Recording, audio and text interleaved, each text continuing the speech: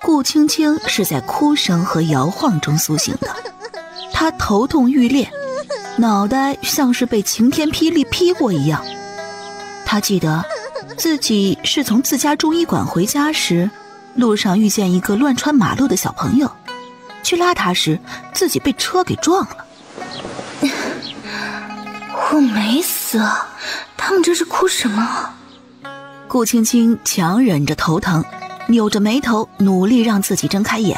他想说一句“别哭了”，好不容易睁开眼，话还没有说出口，他就被眼前一张皮肤黑黄中透着一股营养不良的小脸吓了一跳，脑袋不由自主的往后一仰，砰的一声：“娘，疼不疼？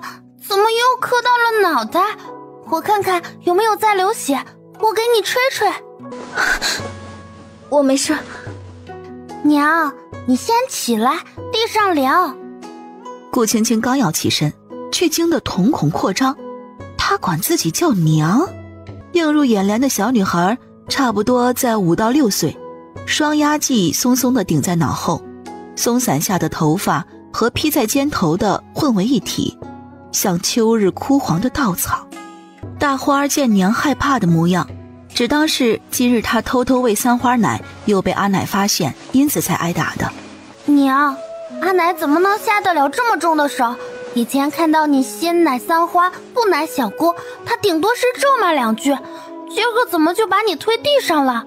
你下次想偷偷喂三花奶喝，就趁我和二花在家的时候，这样我们还能望风。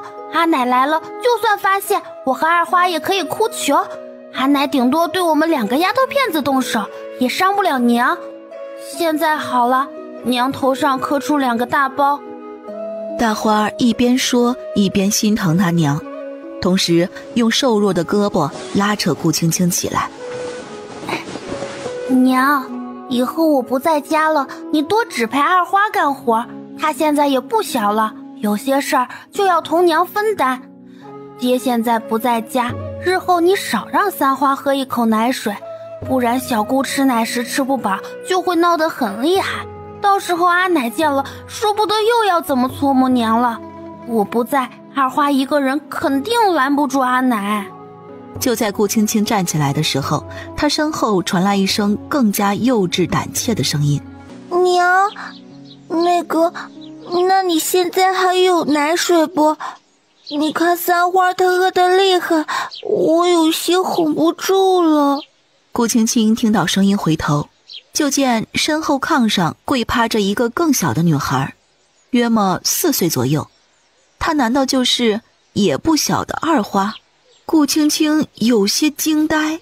二花正在炕上哄灰布襁褓里一个哭得满脸通红、嗓子哑得发不出声的小奶娃。大花见娘又是一副不吱声的模样，眼瞅着干着急。哎呀，你们等着，我去给娘找吃的。等大花跑了出去，坐在炕上的顾青青头没有由来的一阵眩晕，脑子里出现了关于原主的记忆。直到这时，他才确定自己穿越了。原主也叫顾青青，他们今年都是二十三岁。刚刚喊他娘的大花今年七岁，是他大女儿；炕上的二花五岁，是他二女儿；襁褓里是三花，昨天才满三十天。原主一连三胎都是女儿，只要是搁在现代，绝对是香饽饽。但在极为看重男丁的背景下，日子过得是寸步难行，甚至在家大气都不敢喘一口。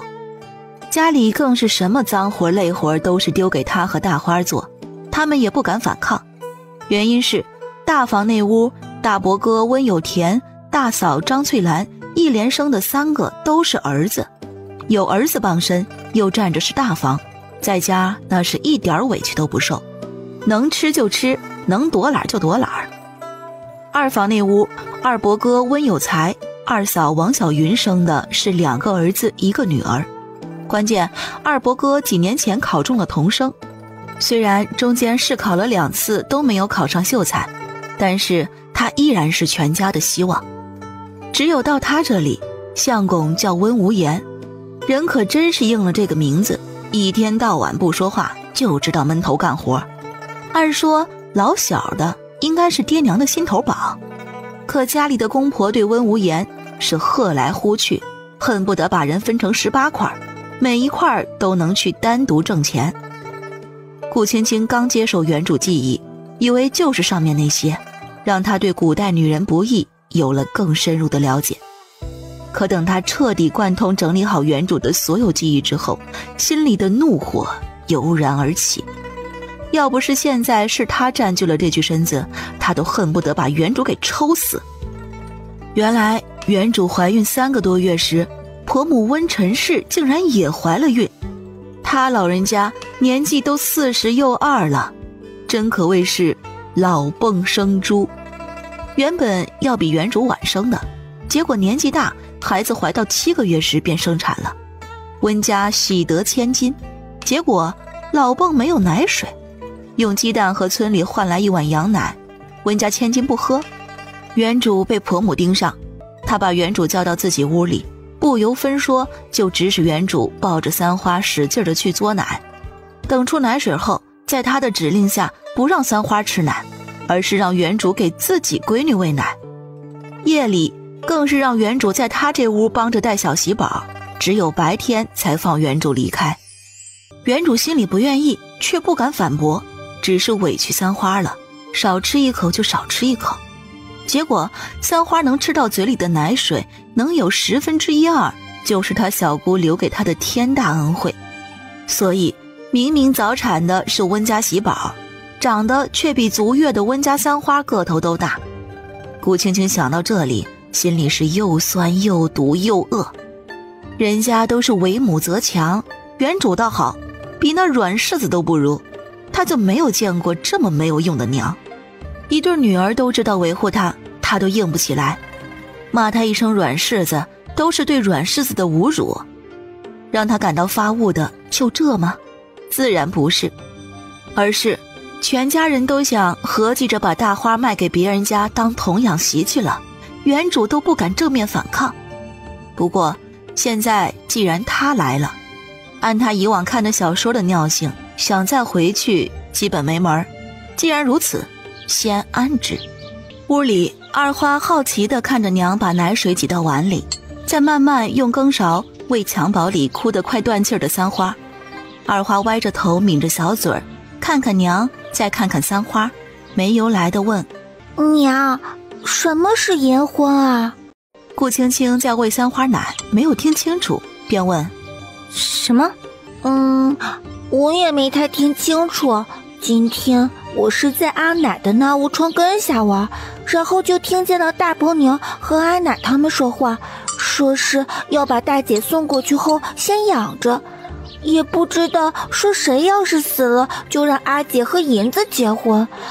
娘，这人和银子还能结婚吗？人和银子怎么能结？顾青青说到这里，整个人突然打了一个寒战。二花，你这话还和谁说过？嗯，娘，我这谁都没有说。二花最乖，刚刚和我说的这些，你以后不能再和任何人说起，能做到吗？嗯，那爹和大姐也不能说吗？谁都不能，包括爹和大姐。这是属于我们两个人的秘密，好不好？二花一听自己和娘有了秘密。乌黑的大眼睛立刻笑成了月牙。嘿，那娘，我谁都不说。就在这时，屋外突然传来咒骂声：“好你个死丫头，你竟然敢偷家里的鸡蛋！我就说最近鸡蛋总是见少，原来是被你这个属耗子的偷了去！翻了天了，家里东西你都敢偷！你给我站住，看我今天不打死你！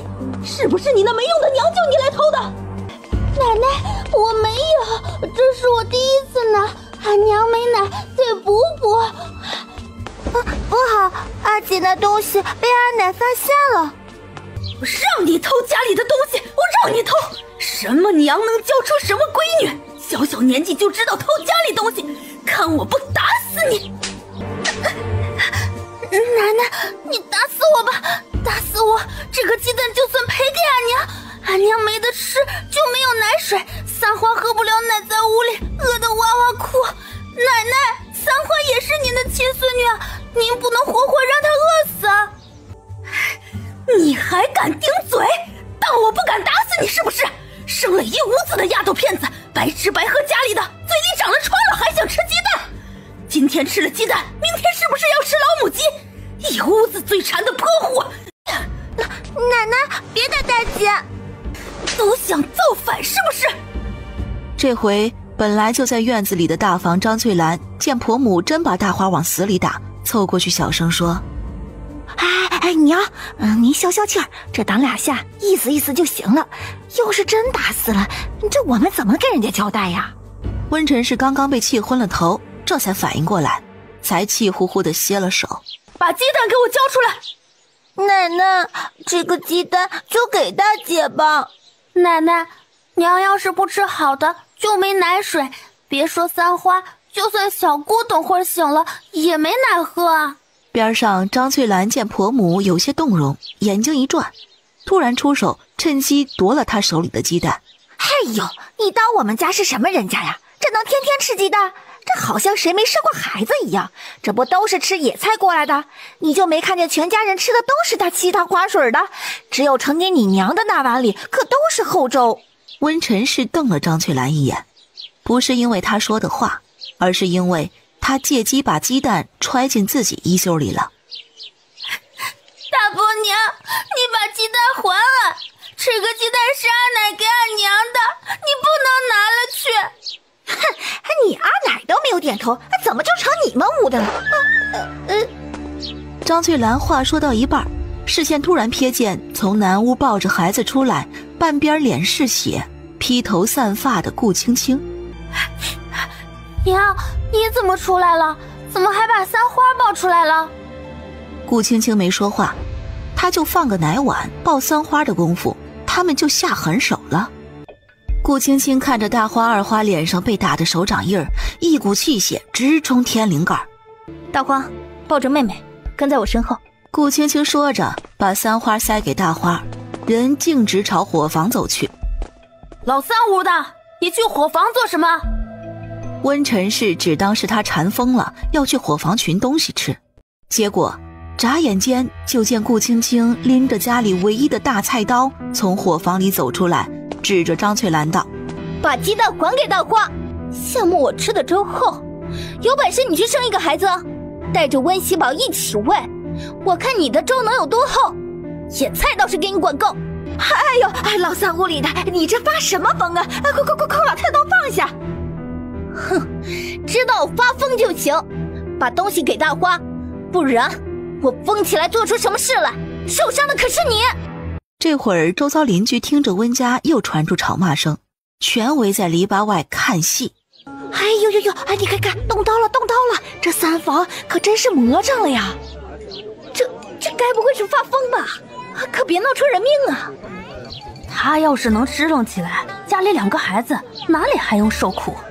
张翠兰就是一个欺软怕硬的，这会儿见顾青青举着菜刀发疯，吓得哆嗦着伸出手，手心里正是刚刚抢过去的鸡蛋。那边二花见状，风一般的速度冲过去，抢过鸡蛋后又回到娘的身边。老三房里的，你也不嫌丢人？鸡蛋都拿去了，把菜刀给我放下。顾青青同样眼扫了一眼篱笆外，丢人？有人看才好呢，正好让大家知道温家老父都做了什么，日后找了机会提分家，也不会被人戳脊梁骨。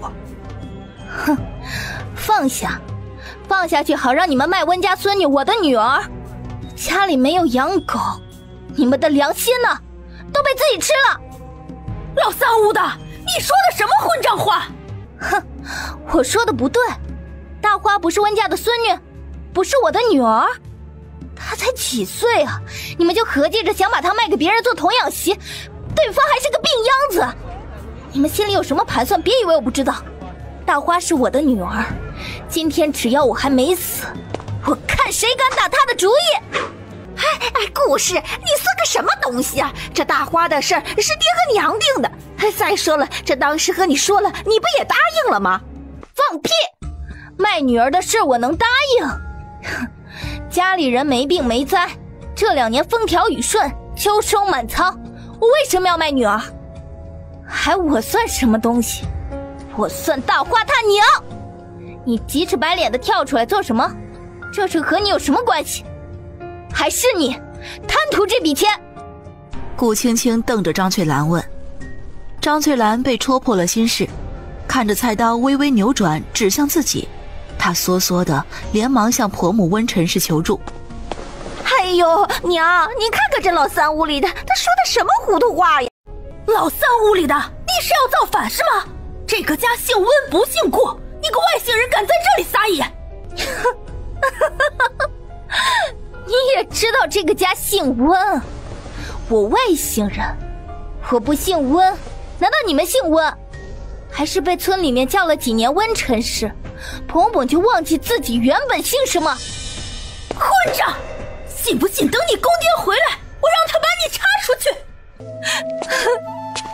叔叔伯伯、大娘婶婶们，你们可要为我们娘四个做个见证啊！人心都是肉长的，我嫁到温家这么几年，家里地里脏活累活都抢着干，洗衣做饭更是一样也没有落下。和婆母一块生孩子，院子里带两个孩子，我什么话都不说。昨天你们见着喜宝。夸她长得白白胖胖，甚是可爱。你们是没有见过我屋里的三花，我这就给你们看看。顾青青说着，接过大花手里的襁褓，稍微拉开一点襁褓，露出巴掌大凹瘦的小脸儿给众人看。你们看三花，足月的娃娃，还不如她早产的姑姑长得壮实。为啥呀？那是因为没有奶水可以喝呀，不是我这个做娘的偏心，是我奶水不足啊。家里总要有一个小的先喂奶，哪怕有奶水的是他娘，他一个小辈又怎么敢和他姑姑抢奶喝呀？婆母，你的孩子是孩子，我的孩子也是孩子呀。我为家里任劳任怨。没想到婆母今天为了一个鸡蛋，要把我们三房给分家赶出来。好，好，好，我做媳妇的听婆母的话，等公爹他们从地里回来，我们这房就按婆母说的分出去。这事绝不能让公爹为难，就请大家做个见证，分家是婆母发话。顾青青见温陈氏和张翠兰都傻在那里了，又见篱笆外的人看温陈氏的眼神多了些许鄙夷，顾青青继续哭惨：“我没本事，生了一屋子的丫头片子，但丫头也是娘身上掉下来的肉啊，别人不疼，只有我这个做娘的心疼。村里五六岁的丫头，虽然有在帮着做院子活。”也是做一些力所能及。大花三年前就开始跟着我去河边洗衣服，冬天呢，手脚都冻烂了，我心疼啊！你们看他衣服，小的穿大哥剩下的衣服是福气，但花儿身上的衣服哪里还是衣服呀？简直就是补丁摞起来的衣服呀！这是要把春衣缝缝补补当棉衣用，都是我这个做娘的没用，让我们花小小年纪就跟着受苦呀！娘。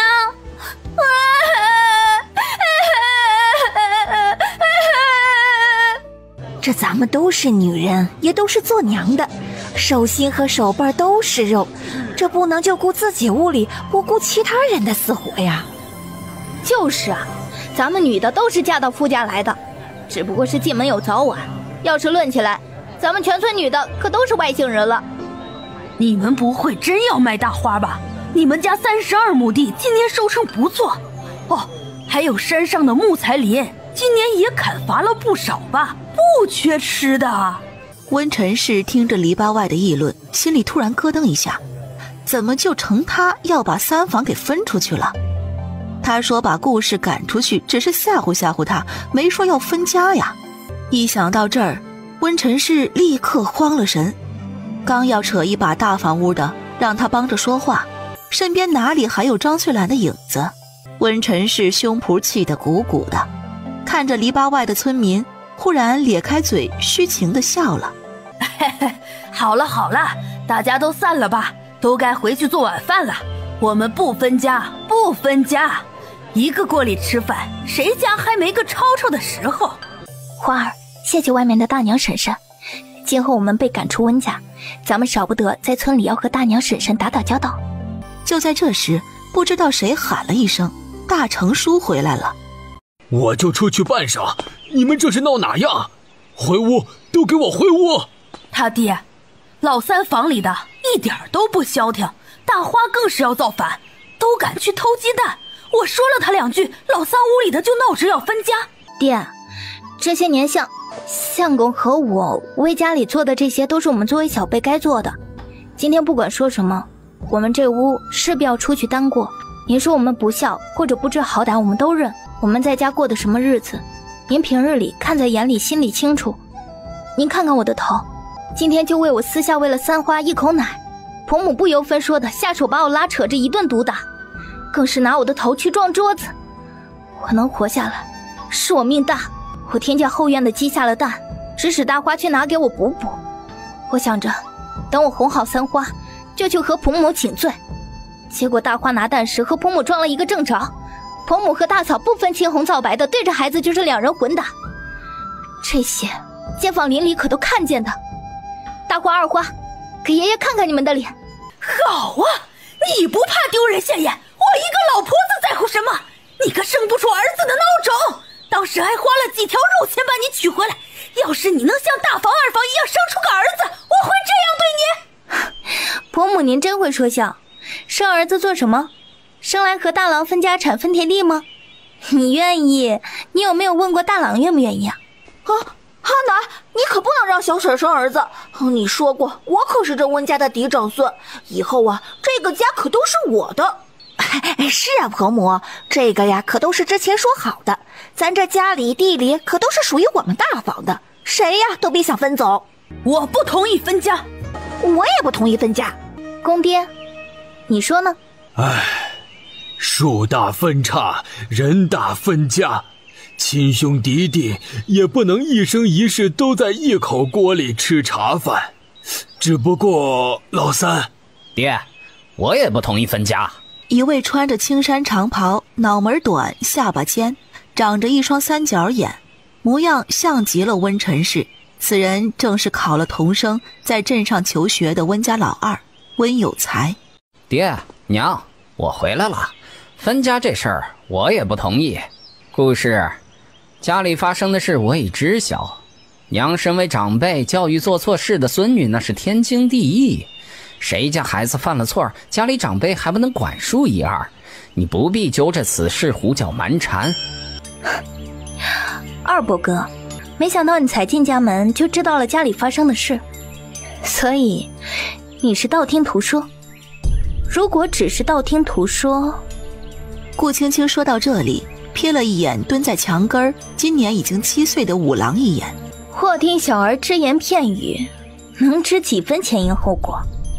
还是你实际早就回来，只不过躲在暗处，哪怕婆母被我说的哑口无言时，你都不曾现身。等我和公爹提出婆母要把我们赶出去分家之时，你才忍不住出来啊！休得一派胡言！我若能早回来，岂能让你如此不敬娘？顾氏，枉费你也为人母，不仅不体恤娘的良苦用心，还企图诬陷，你真是好大的胆子！娘别说教育孙女儿理所应当，就算是管教你，你也得受着。既然二伯哥刚回来，自然不知道我这就是谨记婆母之言，所以婆母要把我们三房赶出温家。我做小辈的不反驳，自然听从。现在看来不听婆母的话，不是我们三房，而是你们大房二房吧？婆母要把我们赶出去，你们却不同意，所以你们把婆母的话置于何地啊？顾氏，你一派胡言！我一派胡言？我哪句是一派胡言？二伯哥，你是读书人，可不能诬陷人啊！刚刚婆母所言，大伙都听见了。你要是不信，可以问问大伙。对，我们都听到了。温晨是说老三房里的是外姓，就不该在这个家，还说等大成回来，这事儿就要办呢。哎呀，要我说，你们不会是看上老三房里见天的任劳任怨，什么活都做？你们现在个个都反悔了吧？大伙说是不是啊？可不，要我说还是大成说的对，树大分枝，儿大分家，孩子都爬了一炕头了，家里锅不够大呀。故事，你之前没有这么能说会道。二伯哥，如果有天，你或者是谁的脑袋也被打出洞，看看你们是继续懦弱，还是站出来为自己求活命？就因为我生的是女儿，你们个个都把我们母女当牛做马的使唤，我默默承受了八年，我换来的是什么？头破血流，还要被你们卖女儿？你们谁把我们当家人了？从二伯哥进院开始，口口声声都是故事故事，显然也没有把我们三房放在眼里。既然如此，我更坚信听婆母的话，分家。哈，你个故事，你这胡搅蛮缠，你不知好歹！你这把大花要是送去隔壁镇的大户人家，那可是去做正妻，怎么到你的嘴里就变成了慢？这大花要是去了呀，她就能过上好日子了。你这已经都占了莫大的便宜了，竟还不知足？既然你觉得大花过去是享福，你怎么不把你女儿麦芽送过去啊？沾沾这福气。麦芽今年才五岁，既然对方要养上几年才能成亲，五岁和七岁有什么差别？顾氏，你，哎呀，老三，你个天杀的、没良心的，我是白把你养活大了，给你娶媳妇儿回来，就是专门用来欺负你亲娘的，欺负全家来的，就是不孝的畜生！行了，都别吵了，全村都在看你们家的笑话。一点都不知道收敛，村长，哎，村长来了。行了，都散了吧，晚饭都不用吃了是吧？都给我回家做饭去。他先扫了一眼坐地不起的温陈氏，接着看向温大成，有什么话进屋说吧。然后等他视线落在顾青青手上的菜刀时，眉头微拧。你拿着刀做什么？婆母打我打累了，烧二杀只鸡给自己补补，我得帮忙。好你个怂懒货，满嘴喷粪！我什么时候说想吃鸡了？是你有完没完？一行人去了上房，也就是北屋，坐的坐，站的站。吴山先是把每个人都说了一遍，随即再问：“你们执意要分家？”此时除了温大成和顾青青没有说话外，其他人都一致表示不分。公爹，村长，还请你们为我们三房做主。婆母今天当着众人的面。已经开口要把我们正房分出去。经过今日这一闹，我在这个家也待不下去了。如果不分，这就是要把我们母女往死路上逼啊！你个贪嘴货！我什么时候说过要分家了？我当时只是想吓唬吓唬你。你个嘴上没门的，看我不撕烂你的嘴！老三屋里的执意要分家的话，这事儿无言能同意吗？相公他会同意的。他前些日子私下里和我说过的。意思是我们这一屋子里的都是女儿，大花二花正是能吃的时候，不好再在公婆身边白吃家里的粮食，就说等这次出门回来，找个机会和公爹说呢。老三当真这么说？话虽然如此，还是需要当面问问老三才是。这事儿等老三回来，你们再商量商量吧。都是一个锅里吃饭的，哪里没有磕磕碰碰的？身为小的，不必抓着老的一些话头不放。被点的顾青青猛地抬头看向吴山，接着就听他又说道：“身为长辈，对孩子多加约束是好事儿，万事就怕过头。温故事平日里做的如何，你们心里清楚。这几天都给我消停点儿，有什么事儿等你们家老三回来再议。”大成伯，大成伯在家吗？你们家无言出事了！大成伯，大成伯快出来！你们家老三出事了！顾青青正在竖着耳朵听。外面是不是有人在喊他男人出事儿时，喘着粗气喊道：“ 娘，不好了，爹出事了，人在外面。”顾青青心里却是咯噔一下，下意识的想：别他刚穿过来就成了小寡妇了吧？是不是得唱小寡妇上坟？谁？我在家。爹，听着好像是玉柱的声音。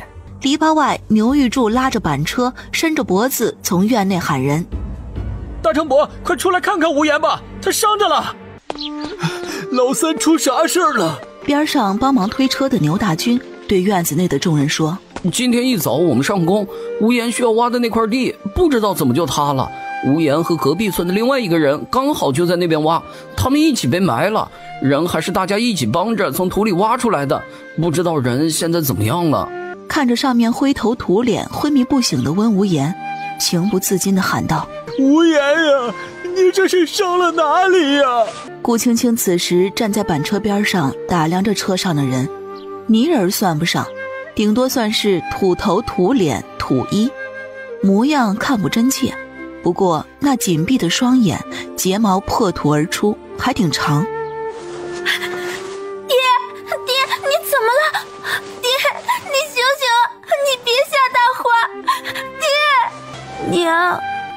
怎么了？娘，爹他是不是睡着了？嗯嗯，老三死了！温晨氏后知后觉的喊了一嗓子，人却是没敢靠太近，有些害怕的问：“伯母，无言应该没死，在那边的时候还有气，这会儿应该是疼晕过去了吧？快快快，大家一起搭把手，先把人抬屋里去。”温无言被抬进来，放在炕上时。顾青青从人缝里看到他的小腿儿被扭成反人类的不可思议状，他腿折了。这一刻，他仿佛成了不用存在的人。温大成最后出门时交代顾青青：“我已经让有才去镇上请大夫，你也不必过于担心。”知道了，爹。等他们都出了屋子，大花，你去给爹擦擦脸。原本昏睡过去的男人，在大花的擦拭下，慢悠悠的转醒。爹，你醒了？是不是我下手太重，给爹擦的不舒服？那我轻点儿。花儿啊，爹，是我，我在。娘，你看，爹醒了。顾青青慢悠悠的靠过去，咦，擦去脸上泥土的男人，长得倒还是挺惊喜的。你醒了？我没事。大花，你带着妹妹去门口看看大夫来了没有？我有话和你爹说。见大花抱着三花，带着二花出去，顾青青的视线再度回到男人脸上。你现在可算清醒？男人微不可察的点了点头。那我和你说件事。顾青青先是指着自己的脑门给他看，然后在添油加醋的情况下，大致说了自己受的罪，接着说了自己提出了分家的事。关于分家，你怎么看？如果是以前，既然你说出来，我定然会站在你这边。不过，我的腿应该断了。如果这个时候分家，我没有办法再去挖渠，挣不到钱，我养活不过你们母女。要不我们和离，或者你休了我。你让二花做什么去了？自然想看看你爹、你娘、你亲哥哥们都在筹划什么呀？难道你不想？你说他们会不会借此同意我们分家？啊应该不能。娘虽然不喜我，我毕竟还是她儿子。至于大哥、二哥，虽然平日里在干活上有些小心思，纵然他们心里不愿意，想来也不会在这个时候做出什么事的。好，那你等着吧。这会儿见二花回来，他连忙把二花招到跟前。二花，可听到什么吗？娘，我听见。来来，对着你爹说。嗯，我听见了。大伯、二伯他们要和我们分家，但是爷爷不同意。他们说爹以后就是瘸子了，干不了活，也挣不了钱，还要家里一直养着。但是爷爷说爹这几年也没少往家里拿钱，可是阿奶就说今天看病就是花了好多的银子，还说我们窝都是丫头，这几年爹挣来的钱也都被我们吃掉了，还说。还说娘不是昨天也要闹着分家吗？嗯，娘，我这后面就没有听见了。大伯娘她出来就把我赶跑了。二花乖，你很棒了。温无言沉默。既然他们有心要分家了，咱们两个是不是该合计合计，为自己多争取点？温无言一怔后，轻轻的点头。吃完晚饭后，温有田和温有才拿了六个鸡蛋过来。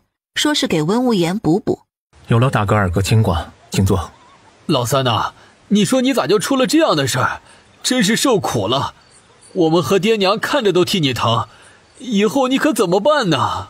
大哥，我没事，大夫说了，我养伤一段时间就会好。虽然日后干不了重活，但是家里还有你和二哥在。老三，你这话什么意思？指望我和你二哥养你？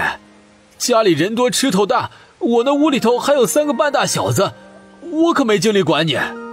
老三，我明年三月还要考试，夫子说过两天教我们一些重要的东西，家里的事我没时间打理。嗯，大哥二哥是挺忙的，只要我们屋里有口吃的就行。另外，等到来年开春，我的腿养得好，也还是能干活的。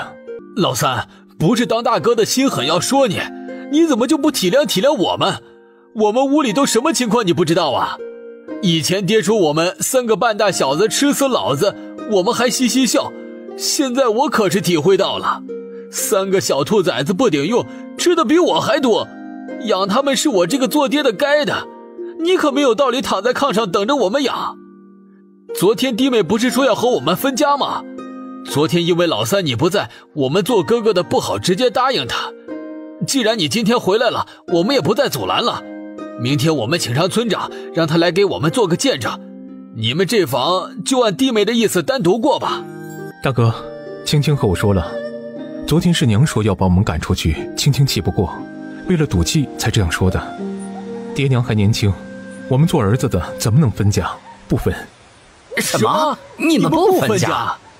第二日一大早，温大成、温陈氏、大房温有田、张翠兰。二房温有才、王小云以及村长吴山全部聚集在温无言的小屋里。你们确定要分？唉，分吧，孩子都大了，能自己过了。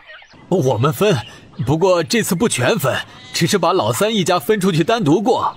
我听爹娘的。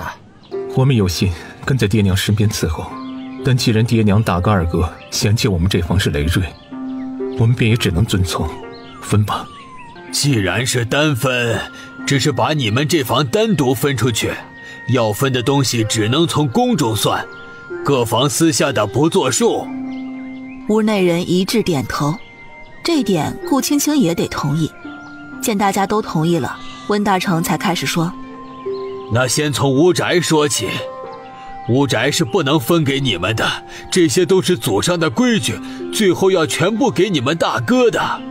不过你现在身上有伤，大夫说不宜挪动，我做主，你们可以继续在屋子里住到明年开春前。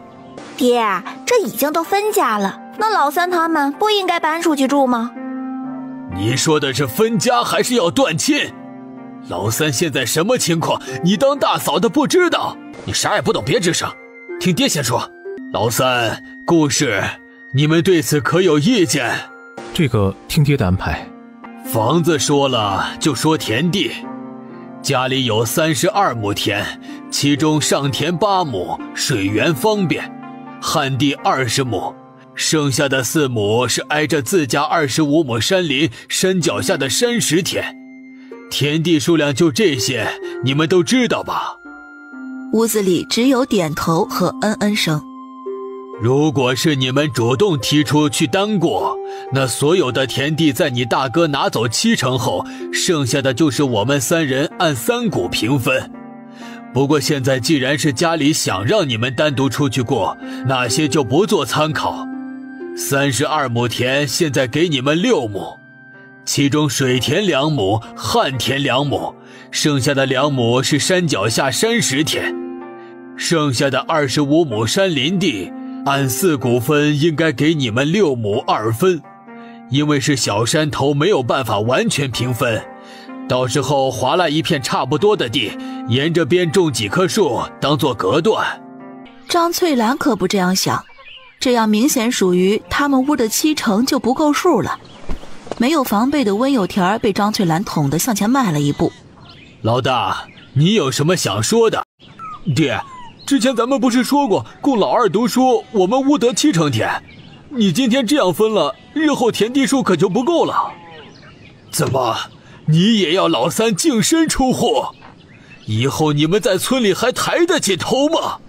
咱家水田总也就那么几亩。爹娘最爱吃水田的产米，不能把那边的地给老三两亩吧？你看是不是水田自己留着，干脆换两亩山石田给老三？如此一来，老三他们四亩山石田挨在一块儿，日后也好打理。大伯哥，你可真会替我们考虑啊！一亩水田在村里什么价格？一亩山地田什么价格？不用我提醒你吧？用两亩山地田就想换走我们两亩水田，亏你想得出来啊！要说如此，我还打算用那两亩山地同你们两亩水田换呢，你愿不愿意啊？这怎么能一样？现在是我们分你们多少，你们拿多少，没有把四亩山石田都给你们，那是你祖上冒烟。我生是温家人，我祖宗不是你祖宗，你现在连祖宗都跟着分了，你好大的胆子！爹，我没有，我不是。油田，别说了，我上面说的那些，你们都有什么意见？爹，我没有意见。爹，您把房子留给大哥，连一间房屋都没有给我们。我和青青听从爹的指派，但牛头山村分家向来是平分，爹娘算一股，我们三兄弟各算一股。咱们田地三十二亩，按说我应该得八亩，细化应该是两亩水田、五亩旱地和一亩山地田。咱们家今天学着县里的那些高门大户，把所有的财产都优先献给大哥，那被村子里的其他户人家知道了，日后村子里要有分家的，岂不是大的觉得应该学我们，小的又按村里的规矩，这是平白给村里多生事端，你说是不是，吴伯？你个不孝子，信不信我去衙门告你不孝，打你一百大板子？我们还没死，都想从我们这夺家产，我怎么养出你这么个儿子来？以后那都是村里的事儿，你管那些做什么？咸吃萝卜淡操心。一个村里啊，还是太平点好。温陈氏也反应过来，自己说的有些快了，生气的闭口。娘，你要是觉得我说的错了，要不我们就不分家吧。我还想跟在你们身边孝顺你们。阿爹，这分家可不行，分一半就不分了。这分还是要分的，不过呀，可不能按照老三说的那么分。那怎么着？难道按大嫂你说的来？要是大嫂分，是不是想把那二十五亩的山林和四亩山地田给我们，这样就能将我们打发？你想得美！那二十五亩的山林，等今年种上新树，过个三五年就能卖钱。山上还有一片竹林，每年都要挖上不少的竹笋吃，这都是粮食。既然你也知道那边好，不如分给我们屋的那片山林和一亩山地田归你。我们也不要你那七亩二分的旱地，你只要给我们五亩，我们就成交。正巧我也不爱吃竹笋，肚子里本来就没有几两油，还要被竹笋刮。你休想！要我说也没有那么麻烦，什么水田旱地的。分家就要听爹娘大哥的，老三屋干脆就拿山林和四亩山地田，加起来怎么也有二十九亩，都快赶得上咱们家一半的数量了。山上不是还有十几棵树，也归老三，将来他搬出去盖房子，这也能用得上。不爱吃竹笋，竹子砍了当柴火，还能听个声响。一直没有怎么说话的温有才说出了大哥心中所想。我觉得老二说的有道理，山林田地挨在一起好打理，你们也不用跑来跑去。爹，你接着说。房子田地分了，剩下的就是银子。你二哥读书，书本纸墨忒贵，家里也没存下什么银子。我同你娘也不忍心你搬出去，这里给你们准备了二两银子贴给你们屋，你到时候抓药看病用。也算是我们一点心意，粮食给你们一百斤高粱，五十斤谷子，三十斤麦子种。麦种是播种还是磨面吃，你们自己拿主意。还有十斤花生，剩下的就是锅碗瓢盆。家里只有一口大锅不能给，有一个小的铁锅，你们拿去。瓮罐也有几个，你们可以自己去挑一个拿去用。菜刀只有一把，这个得留下。碗和盘子需要几个拿几个。种地的锄头、镰刀、柴砍刀，每一样给你们一把。其他的你们看上什么可以说出来。爹，我们不想你为难。既然大伯哥和二伯哥都希望把二十五亩山林地给我们，我们要就是。山上不能种粮食，我们一家分出去也要吃喝呀。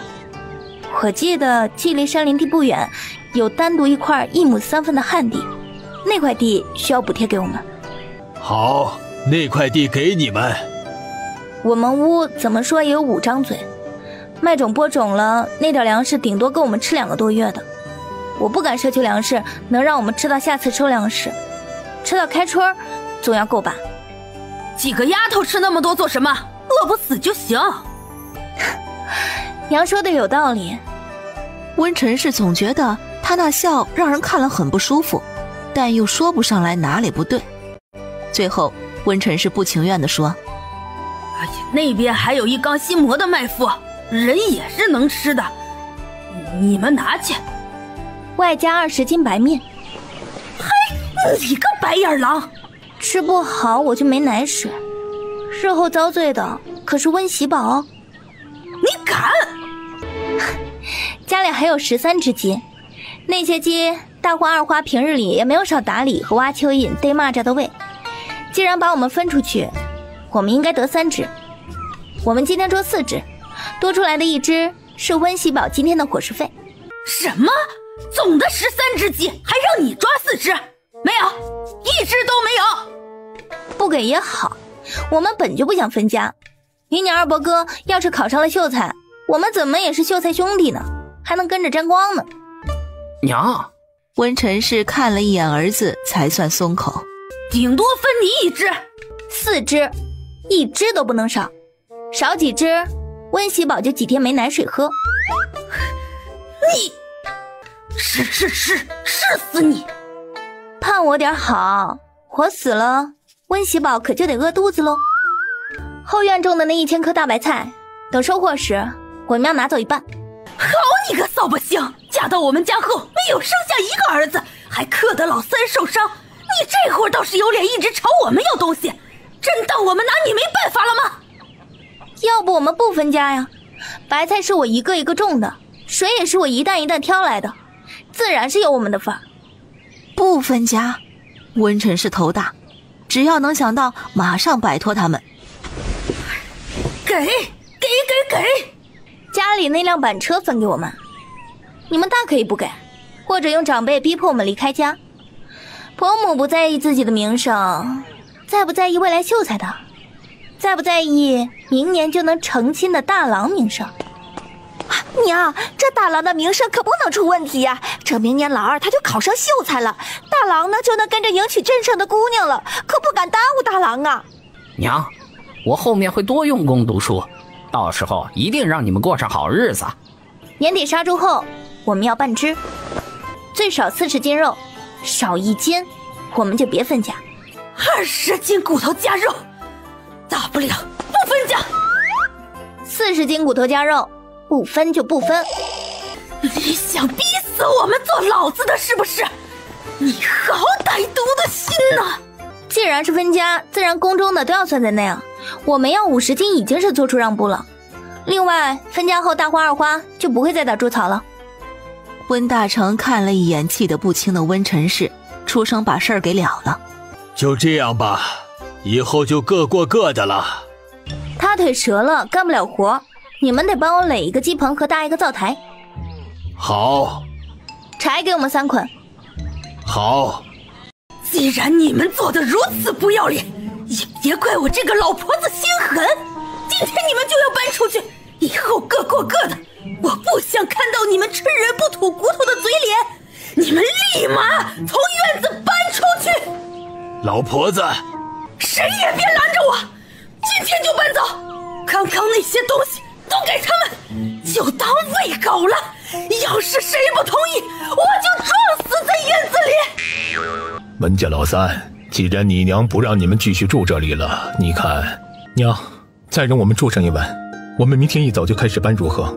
虽然你们是分家，老三那怎么也是你儿子，看在我这个村长的面子上，今天再住一晚。温晨是不情愿，看了一眼村长，还是默认了下来。爹娘，既然分家了，我们弟上，我这身体也不好，日后我们就没办法孝敬爹娘了。愿你们一切安好。哼，看不见你们，我就觉得是天大的好。不孝的东西。等众人都离去，顾青青对着横躺在炕上的温无言没好气道：“我们搬去哪里啊？”在我们山林地的不远处有一个木屋，你还记得吗？你下午抽空去看一看，看看木屋现在怎么样了。如果能住，我们暂时先搬过去。过两天不行，请人帮忙搭一个土坯茅草房。请人不花钱，二两银子够？不够，我我这里还有三两。你哪里来的？昨天你回来衣服都换洗了，你怎怎么藏的银子？顾青青见他不说，便也没有追着问。我现在就去带大花去分给我们的山头去看看木屋。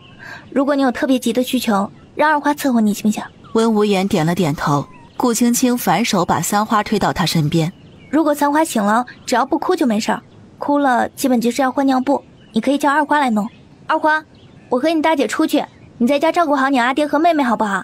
二花懂事的点点头。直到这时，顾青青才发现，刚刚她藏银子的时候没有避开二花。考虑到二花小，万一不小心说漏了嘴，她只得对温无言说：“你在家把屋内的东西看好，要是丢了，咱们直接就去山上喂狼吧。”他们的山林地整体就是在村子的东北方向，只要是出了村子就能看到。木屋不大，门窗完好，进去后空间也就普通一间房子的大小。屋内有一张木架子搭的所谓的床，也就比他上学时宿舍里的床稍微宽一点床上铺着稻草，想来是以前干活时他们在屋内有休息过。至于想睡下五个人。除非个个都像三花那么小，倒是可以的。房子看过后，母女俩一前一后上山。大花，我们朝着竹林那边去，沿路随便看看山上有没有什么野菜，我们摘点。回去后把嫩的留给我们吃，老的喂鸡。娘，我知道哪里有野荠菜，前几天我们还来摘过，可多了。果然，等大花带他到了地方，周边就有不少的荠菜。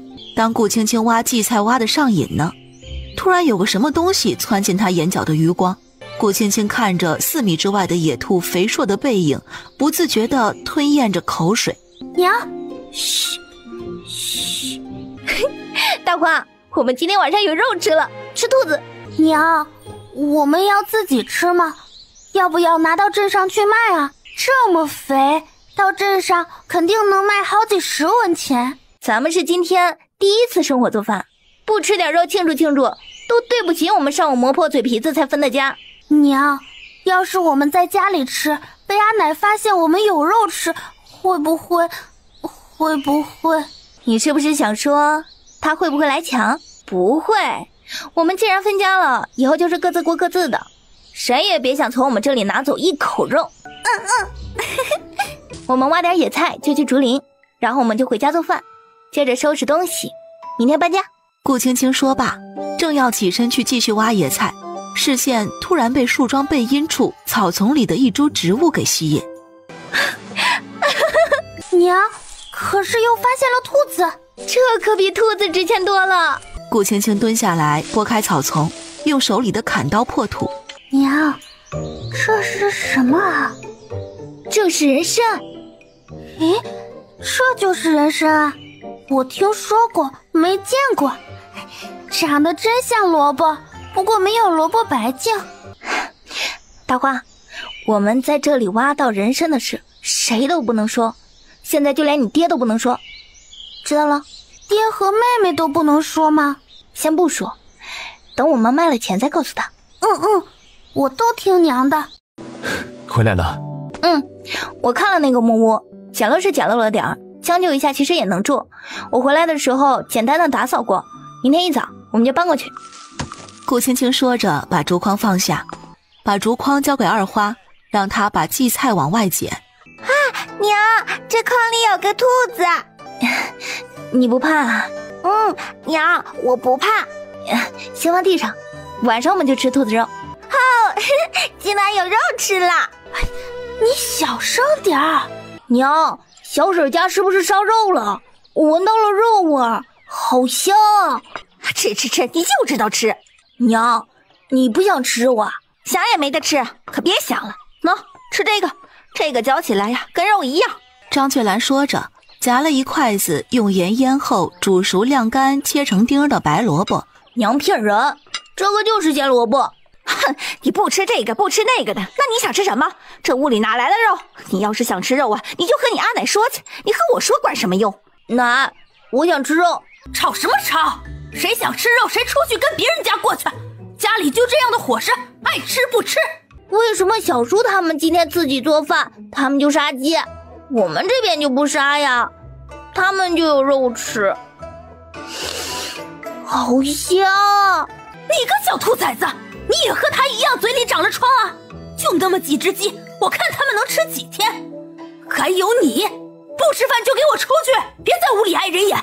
你要是有本事，你就去内屋要，看你能不能讨来一块肉吃。去就去。几乎是他们这边肉刚上桌，北屋的三郎就端着碗过来了。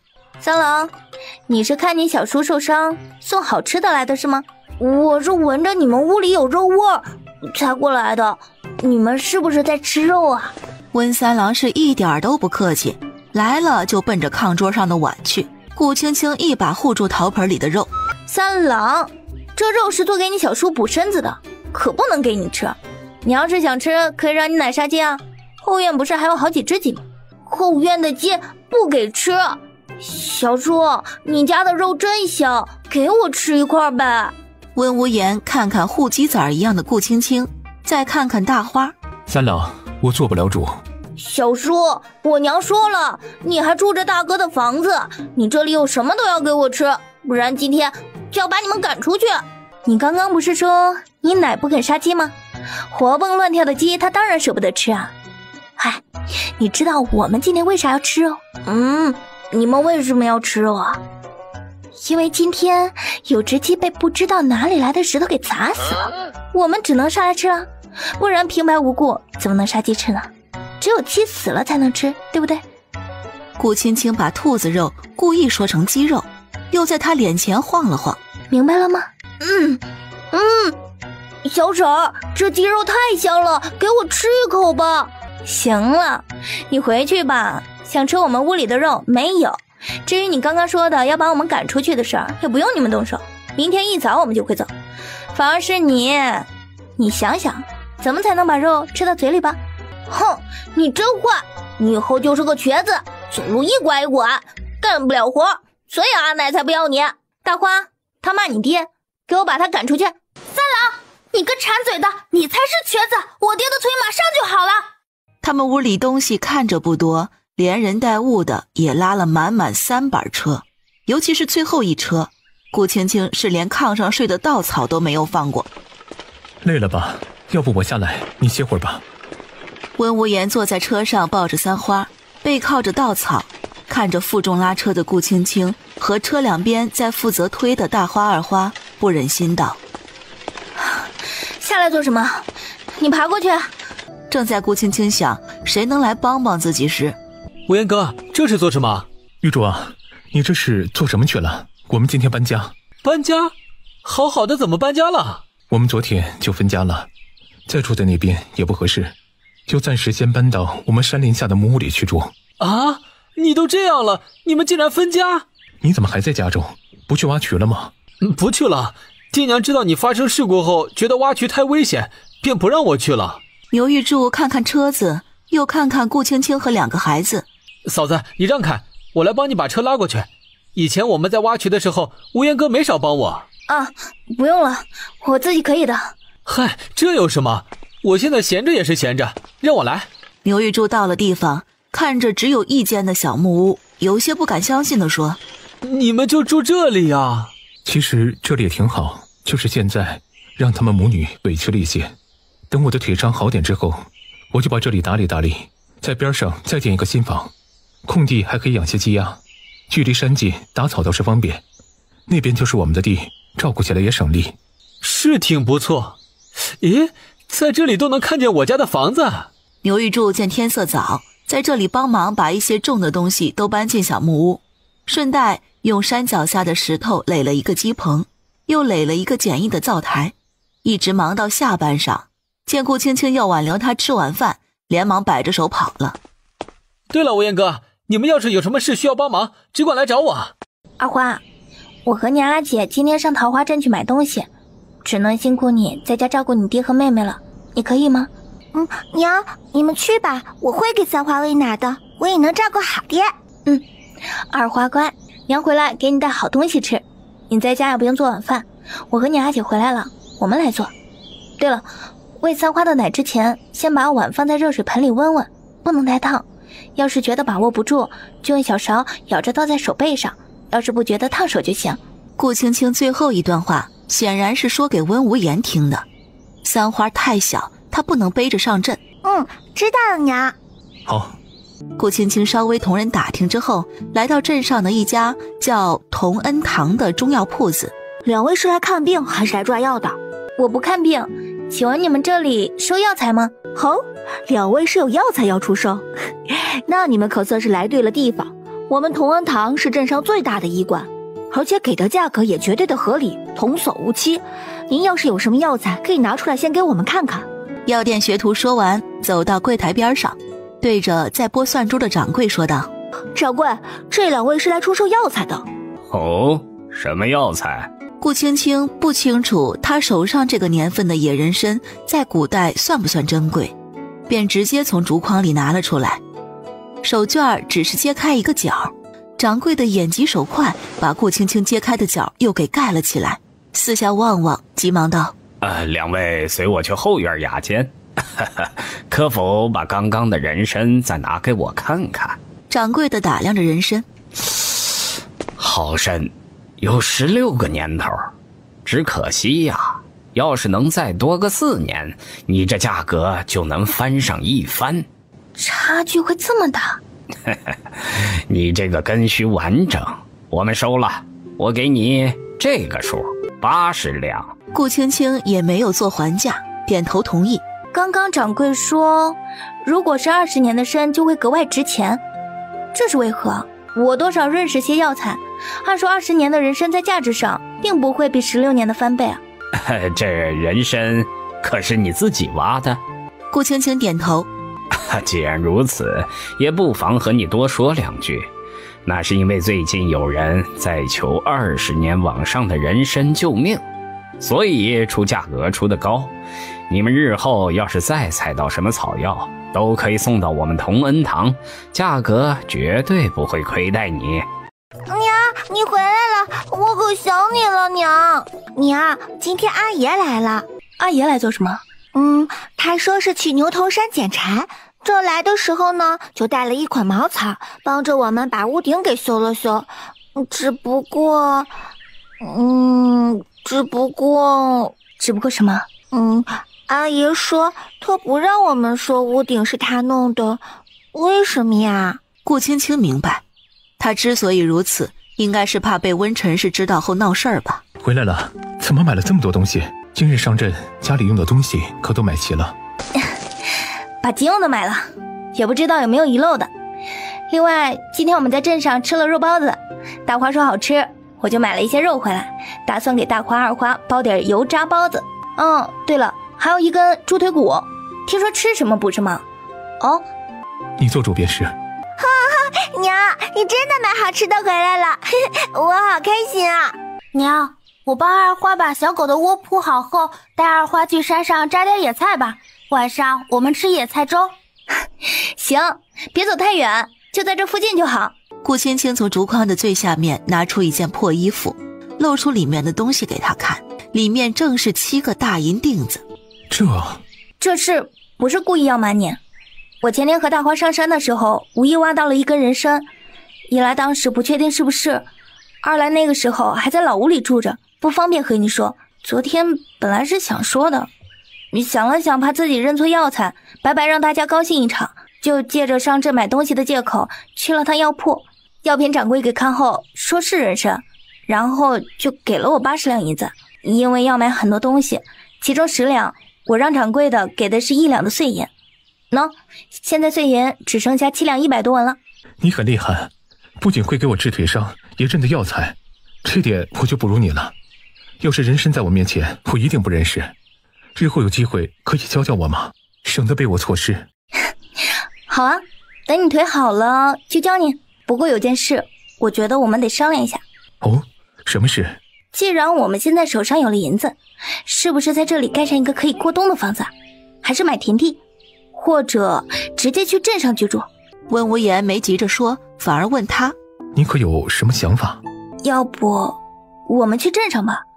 一来省了盖房子的钱，二来我们在镇上随便做点营生，混个肚子饱应该还是可以的。青青，我会的不多。嗯，没关系啊，等你腿好了，你听我指挥干活就行。不过你也可以说说你的想法。如若是我，想是先建上三间土坯瓦房，差不多需要十两银子，剩下的钱用来买地。我们庄户家所有的收成都是来自于田地，只有田地里长出了粮食，才会让我们安心。爷，为什么是土坯房，不是青砖房？我们刚分家就建房买地的，容易招来村里的闲话。虽然我们可以解释银子的来源，可是娘要是听了什么闲言碎语，要来闹事的话，总归对我们不好。要是不去镇上的话，先建个土坯房来住，等过个一年，我们再盖成青砖瓦房。原来的土坯房可用来存放东西。买地不还得通过村长？到时候该知道的不还是都得知道？买地不一定非买我们村子的，我们可以通过镇上的牙行来买，也省得有些人来捣乱。你说是不是？嗯，你说的也算有道理。不过既然分家了，干嘛还要让自己憋屈啊？他们要是敢来闹事，你不能出手，就让我来，不就是吵架吗？搞得谁不会似的。要我说，还是上镇上，毕竟镇上人多，且热闹。好，听你的。不过能等等吗？等我的腿好了，我不能眼看着你们母女被人欺负。嗨，这事儿又不急，自然得等你腿养好，不然我指望谁给我干活？当天傍晚来的依然是张翠兰，瞧着顾青青他们在炼猪油，急忙上前要帮忙。哎呦，我这来的可是巧了！你们搬家那天呀，我正好家里忙，我也没能帮上你们什么忙。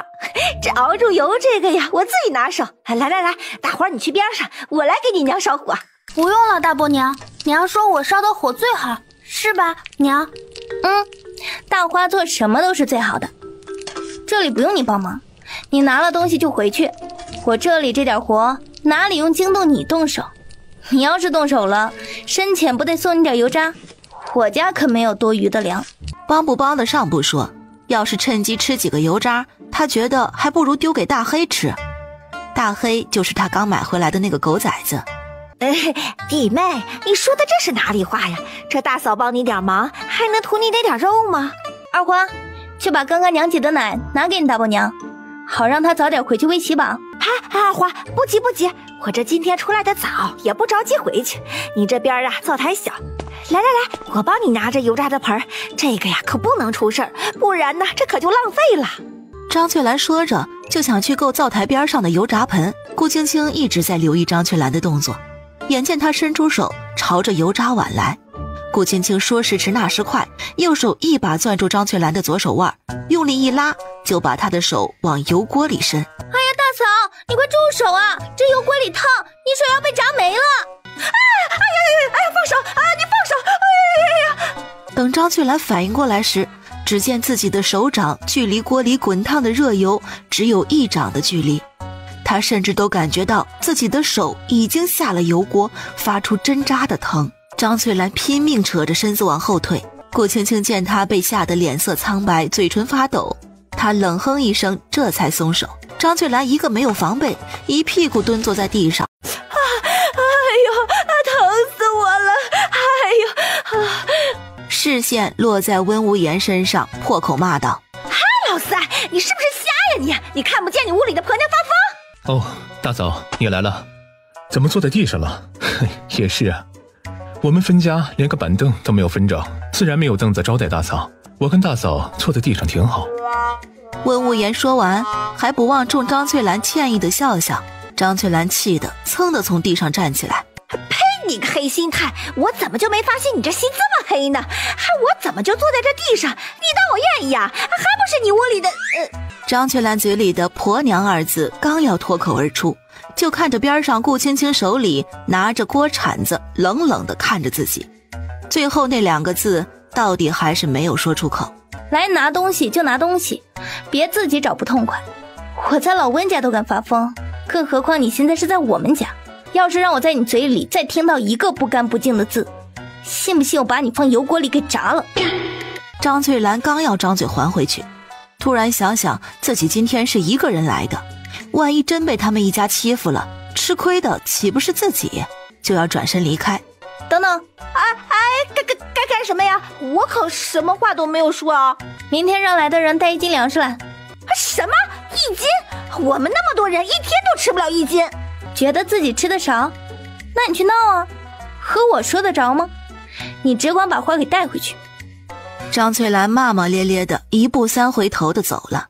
第二天，顾青青一早和上面，手里拎着温无言新编的竹筐，带着大花二花去挖荠菜。山上，顾青青得了机会问大花：“大花，你爹以前在家说话吗？”“说啊。”“啊，那说的多吗？”这下大花犹豫了。怎么算多不多呢？那都说些什么呀？说娘你在家不爱说话，让我们听娘的话，还说要是有谁说娘，就让我们骂回去。说我们是小孩子可以骂人，还说让我们忍忍，爹会想办法让我们过上好日子的。靠挖渠？爹说冬日不挖渠了，就去抄书。抄书？嗯，爹是这么说的。你爹他识字？嗯。我也不知道爹识不识字，爹是这么和我说的。爹还同我说，不让我在家里说这事儿。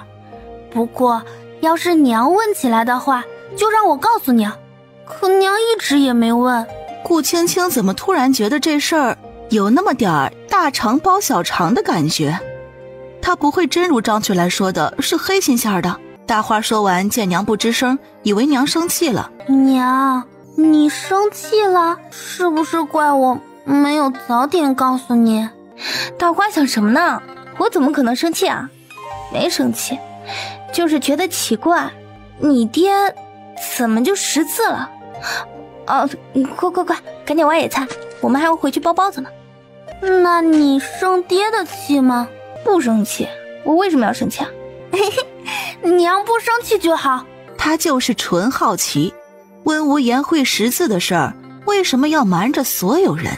回家时，温无言在打磨一节竹子。怎么这么快就回来了？我见家里没有擀面杖，就用竹子做了一个，看看合不合手。顾青青先是接过看看，两边竹节头打得很光滑。嗯，除了有点轻，其他都挺好的。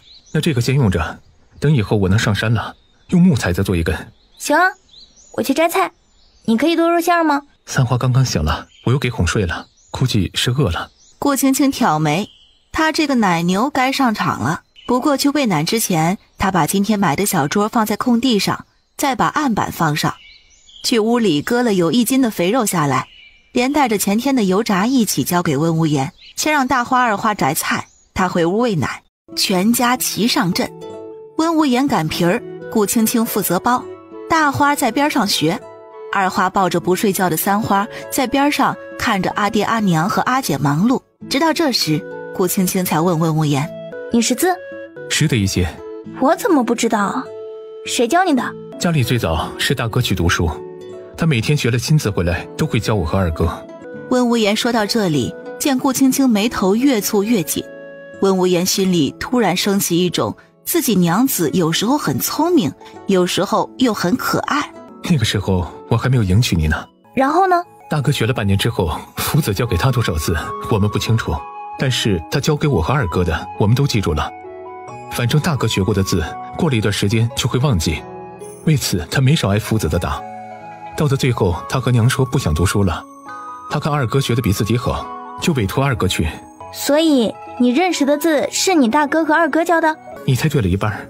大哥当时确实教了我一些。等回来之后，二哥去读书，就再也没教过我识字了。为何？他说我没有教过树修，他不能把自己学的东西教给我。每次他在家读书练字时，都不允许我进他的房间，说我要是会了就是偷师，视为不耻。爹娘也不懂，只是警告我，从那以后不能碰二哥的书本。那个时候年纪小，地里的活也多，这件事情就这样被搁置下来。哎呦，没看出来呀。那个温有才还有大尾巴狼的面孔呢，我看他就是个小心眼儿。二哥一向不喜欢我，现在读书了，更是觉得高我几等。这次分家，我们那般胡闹，他也不为所动。他是觉得自己一定能考上秀才，再不分，怕日后没机会。那你识字是谁教的？前年我跟村里人去望平镇挖渠，在那里认识了个灶头。混熟之后，他开始教我识字。一个灶头教你识字的？顾青青有些吃惊，下一刻，他突然就想起了《天龙八部》里的扫地僧。这个灶头是不是大有来头啊？不知道，没人知道杨灶头是哪里来的，因为除了管事，他在挖渠的队伍里待得最久。听说开始也是挖渠，后来因为做饭好吃，就掌管了伙房。这年头，做灶头的人都是会读书写字的人了。那他教你这个一个只会挖渠的人，是不是想近水楼台，等待那明月照渠沟时，你们好把酒言欢？青青，你惯会打趣我。我没有参加科举，也不走仕途，每日里不是种田就是挖渠。他又是贪图什么，难道就是为了那几条泥鳅？什么泥鳅？最开始我们几个人抓了几条泥鳅。拿去给老杨头一锅炖了。当天聊得很开心。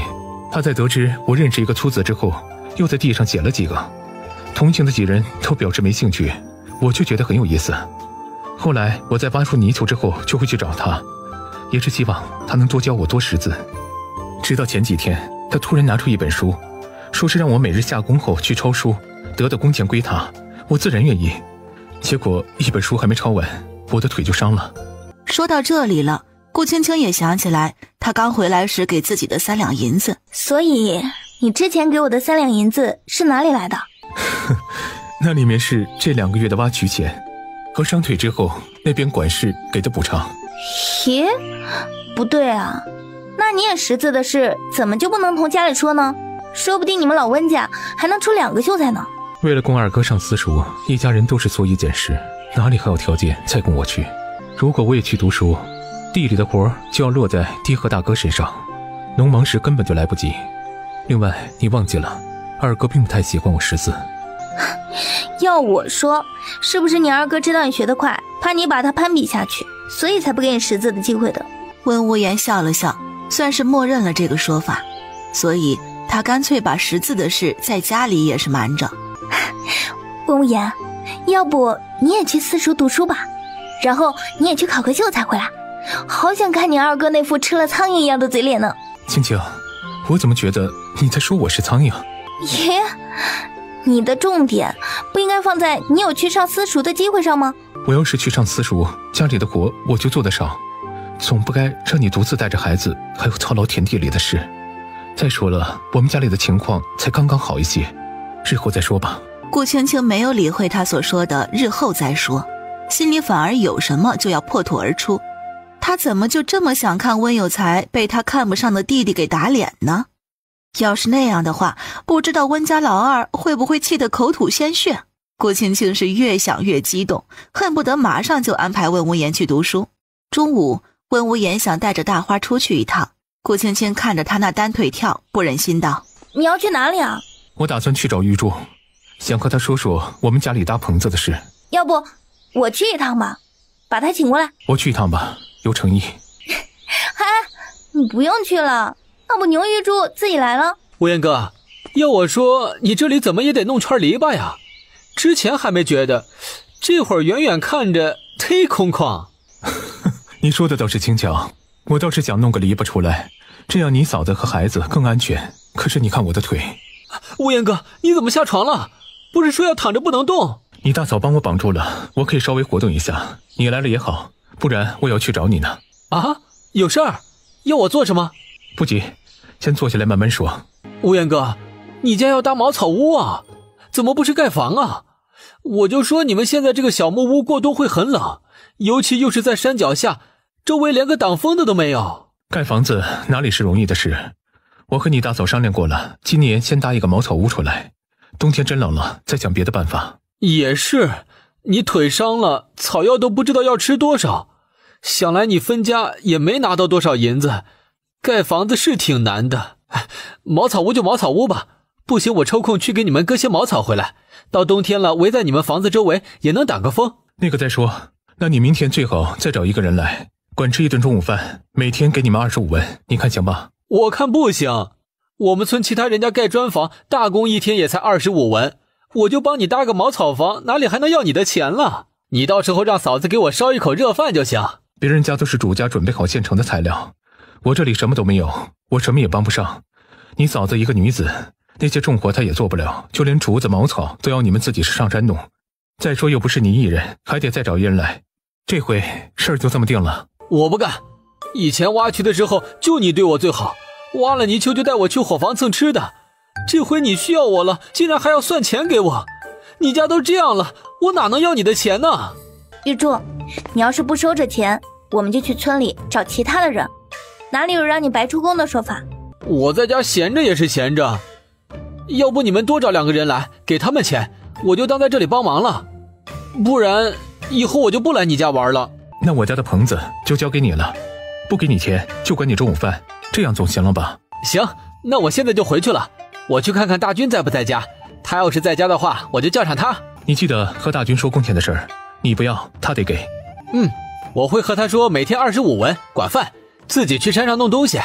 今天我们去山上捡些柴，回来我给你们煮青菜瘦肉粥配包子。见天色还早，顾青青带着大花二花去自己山头捡细柴。咦，那是什么？这会儿的视线突然被一棵老树桩上的东西给吸引，等他走近，立刻有些兴奋的喊：“ 二宽，快把篮子拎来，这里有黑耳朵！”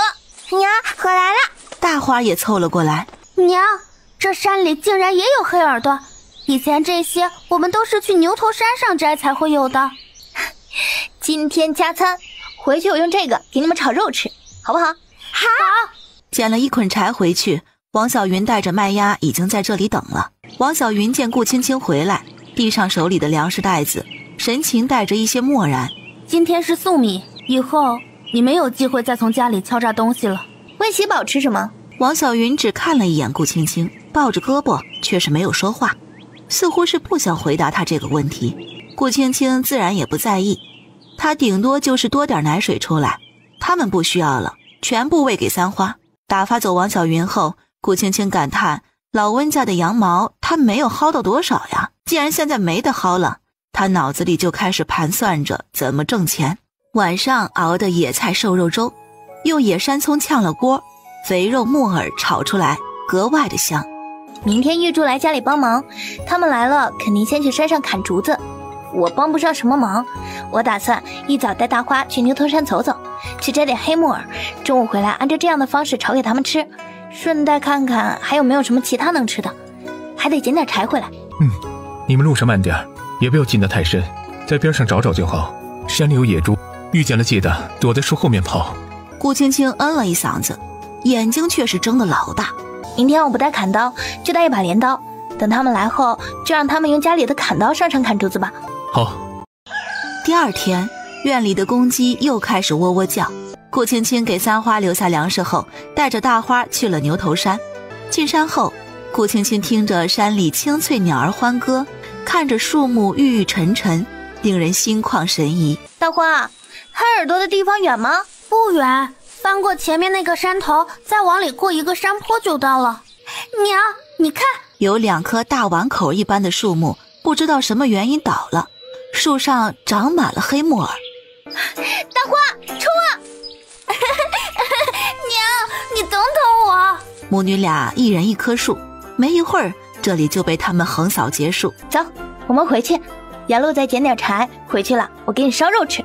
突然，就在这时，他斜后方山里突然传出一声凄惨的吼叫。两人躲在一棵树后，他人警觉地四下观望。娘，这是什么声音？我不太确定，不过听动静，他可以确定。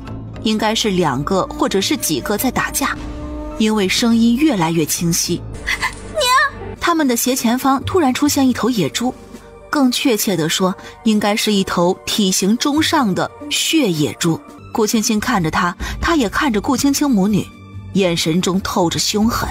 顾青青自然不会去招惹一头暴躁的野猪，她注视着野猪，带着大花慢慢的后退。野猪磨了磨牙，哼哼两声。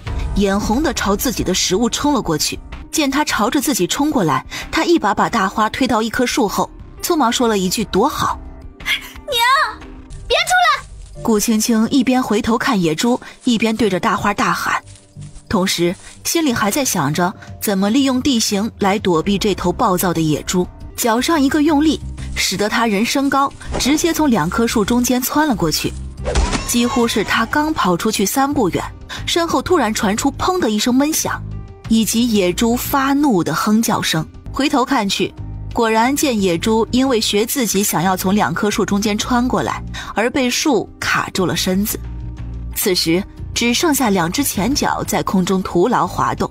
顾青青说时迟，那时快，人不再逃跑。反而一个转身朝着野猪冲去，右手拔出插在腰间的镰刀，对着猪头两眼中间的上方用力击去。只见刚刚还暴脾气的野猪瞬间就软在了树中间，哼哼两声后便彻底没了动静。直到此时，顾青青才后知后觉地产生了害怕，脚下一软，一屁股坐在地上。娘，啊，花，我没事儿。我见野猪要追上娘了，好害怕。我没事儿，你看我这不是好好的。大花要高兴，这头野猪是我们的了。我们把野猪弄回去，就会有很多猪肉可以吃了。顾青青尝试着想把它从那棵树中间给它弄下来，结果他使出浑身力气，也顶多就抬动了一条猪腿儿，野猪几乎是纹丝不动。花儿。你一个人敢不敢回去啊？娘不和我一起回去吗？我得在这儿守着这头野猪。如果我们两个人都离开了，等有人来，这头猪就会被别人拿走，它就不属于我们的了。娘，我敢一个人回去。那好，你小心些，然后一路跑下山，回家后找你爹，让他找人来，就说娘打死了一头野猪，明白吗？走，我送送你。木屋前。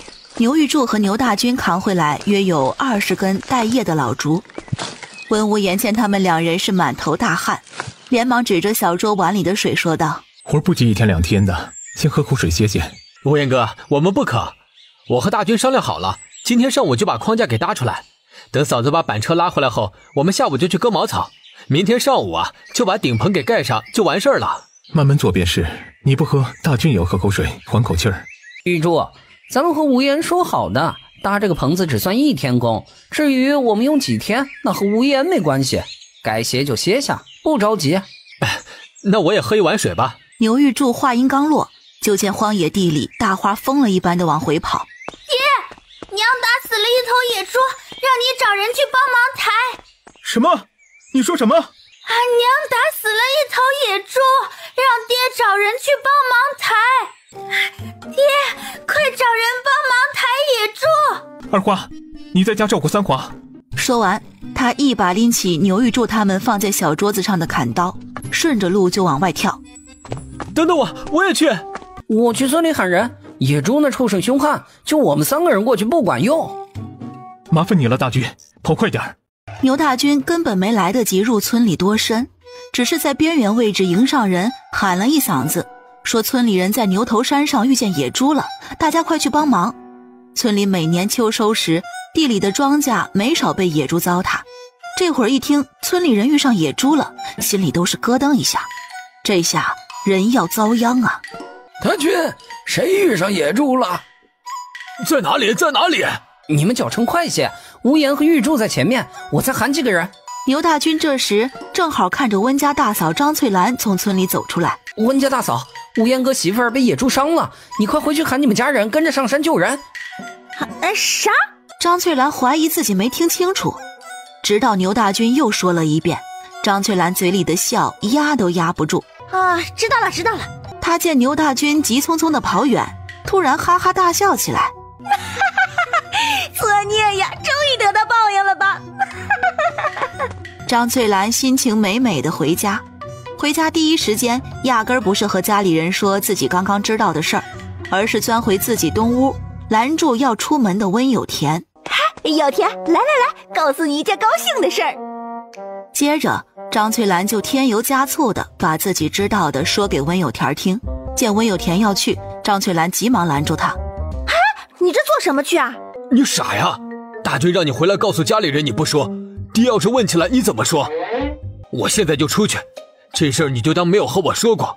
你去和娘说，要是娘问起我去做什么了，你就说我去地里。张翠兰等温有田离开有一会儿了，才慢吞吞的去了北屋上房。婆母温陈氏和王小云正在用羊奶拌着米汤来喂温喜宝。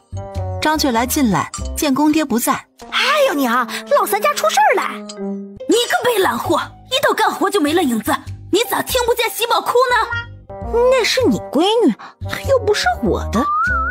你嘟囔什么？呃，没什么，没什么。阿娘，我要是不出去走走的话，我这能知道老三家出事了吗？我这不是一得了信儿就回来跟您说吗？我这看您咋就一点也不上心呢？老三家咋的了？哎，听说这故事他今天上山遇上了野猪，被那个野猪给拱了，现在呀人都死了。这刚才呀我在这村口遇上了牛大军，这牛大军呢他让我回来喊人去帮忙。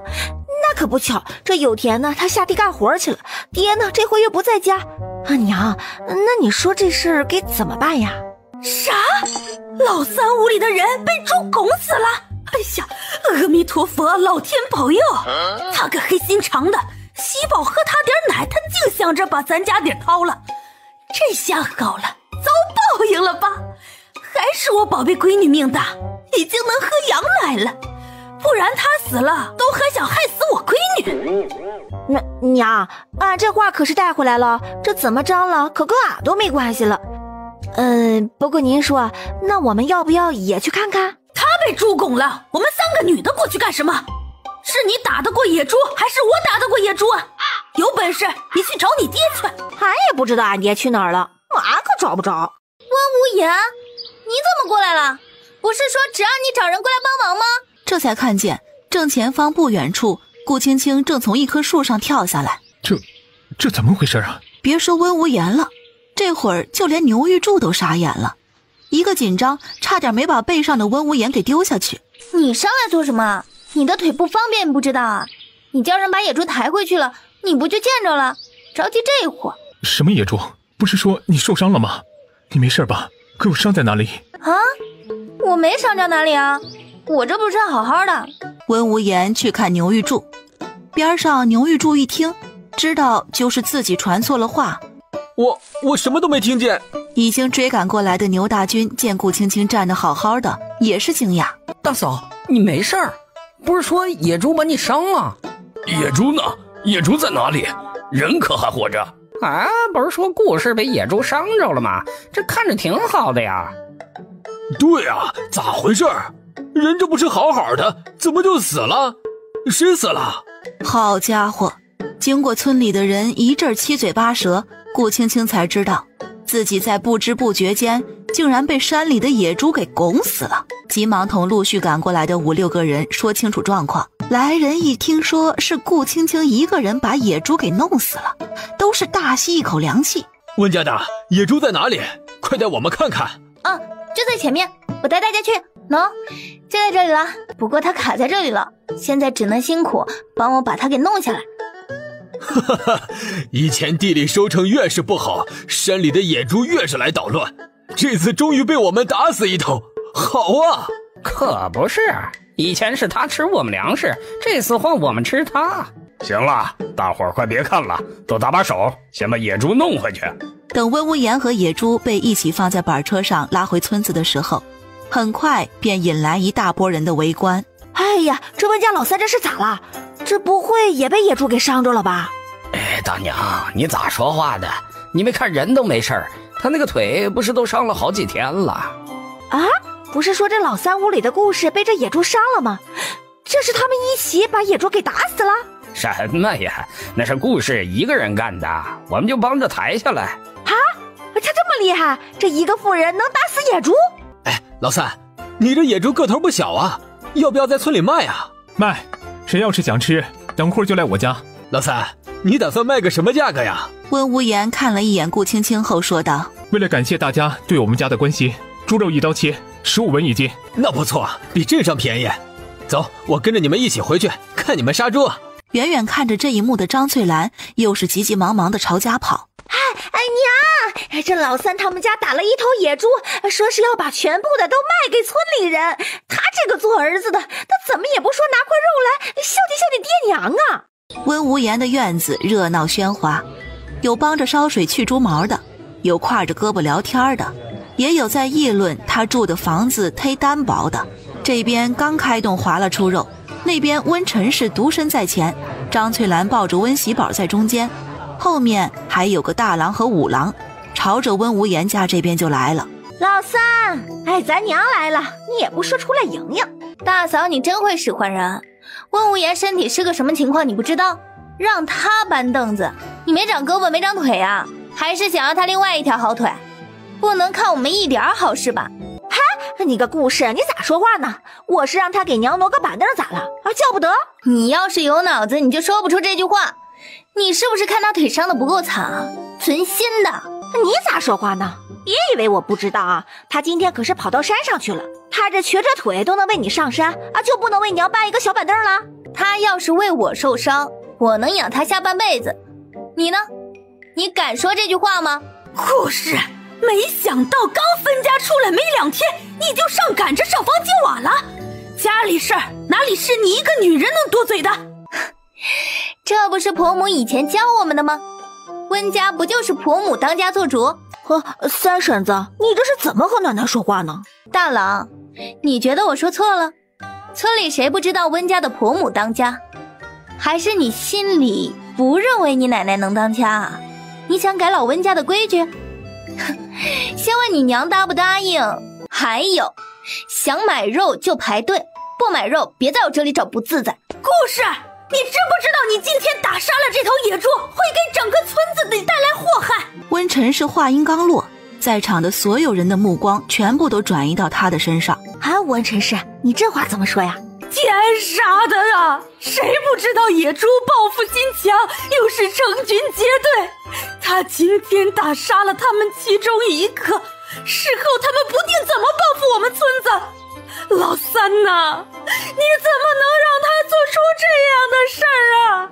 野猪发疯有多凶狠，你们不是不知道，你们，你们是要害村子里的人呐！村里人被温晨是这般一嚎，有胆小的心里多少升起了一些后怕。这万一真引来好几头野猪在村里霍霍，受亏的可就是他们呢。娘，你可知道今天这事儿不是野猪死就是青青伤。你不关心青青也就罢了，却还要出言恐吓整个村子。每年野猪偷摸的祸害了我们多少粮食，我们恨不得把他们全部打杀了才算，岂能怕他们？老三，你竟然敢说我的不是？要我说呀，无言说的对，我们岂能怕那几只野猪？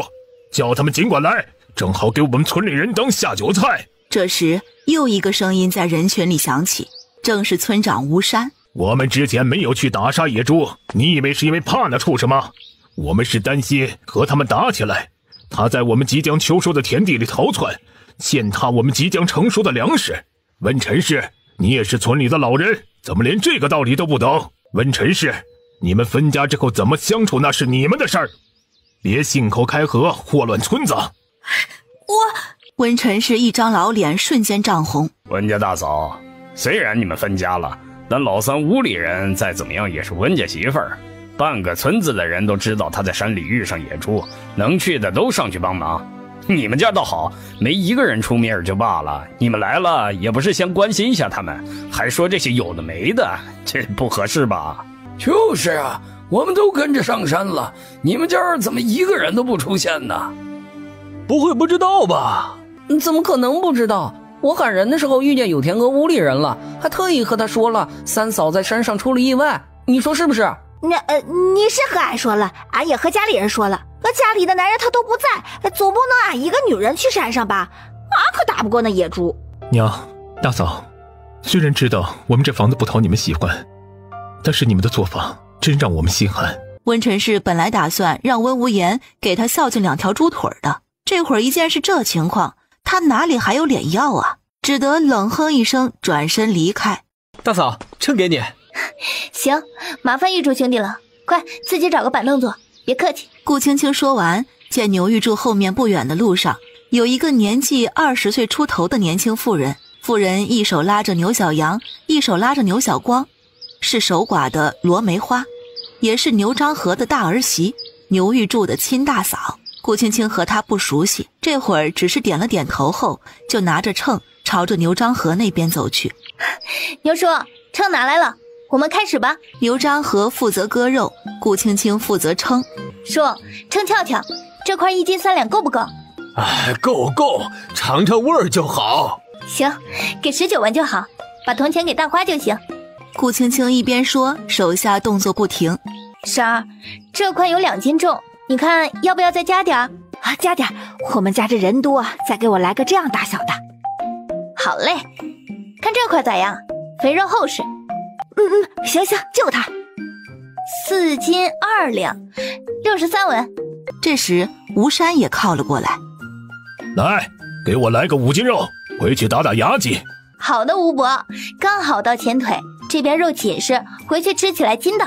一直到太阳西斜，来买肉的人才陆续离开。刘章和又划了一大块肉下来，心情大好的对顾青青说：“来看看这块有多重，我要了。”爷爷，爷爷，我们家也买肉啊！买？怎么能不买？回去了，让你们阿奶给你们做肉吃。哦哦哦，家里吃肉肉了！来了，一直没有说话的罗梅花轻声道。爹，我们这买的会不会太多了？这一块肉不得六七斤啊！我们家吃是有点多，你不是好久没回你娘家了吗？明个回去一趟，带点猪肉回去，也算是告诉他们你在这里挺好，让他们放心。顾青青让温无言送了牛玉柱半小扇几乎没有怎么剔肉的排骨。今天真是感谢你，要没你，我想上山都上不去。另外，今天我家棚子没搭起来，明天你还得继续收下。这是你应该得的，无言哥，这也太多了。这都是骨头，没有肉。嘿，都是一个村的，帮忙是应该的。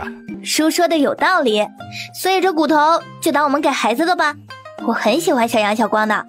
你们回去后把排骨剁成半指长一段，多加点水，小火熬汤，煮到骨头两边的肉缩了起来，这样肉和汤给小杨小光吃，对孩子身体特别好。这多难为情。不然你说多少钱，我们买吧。要是计较的这么清楚，我们可不好意思让玉柱兄弟来我们家帮忙了。最后牛家人实在是拗不过，牛玉柱也欣然拎了小半扇排骨。猪肉还有小五十斤，村里应该是吃不了这么多了。如果你们想上镇上买，和我说，我拉车带你们去。行，知道了。等所有人都走了，院子里一下子安静下来。大花，烧火，咱们今天也有炖肉吃。大花上扬着嘴角，开心的点头，然后去烧水。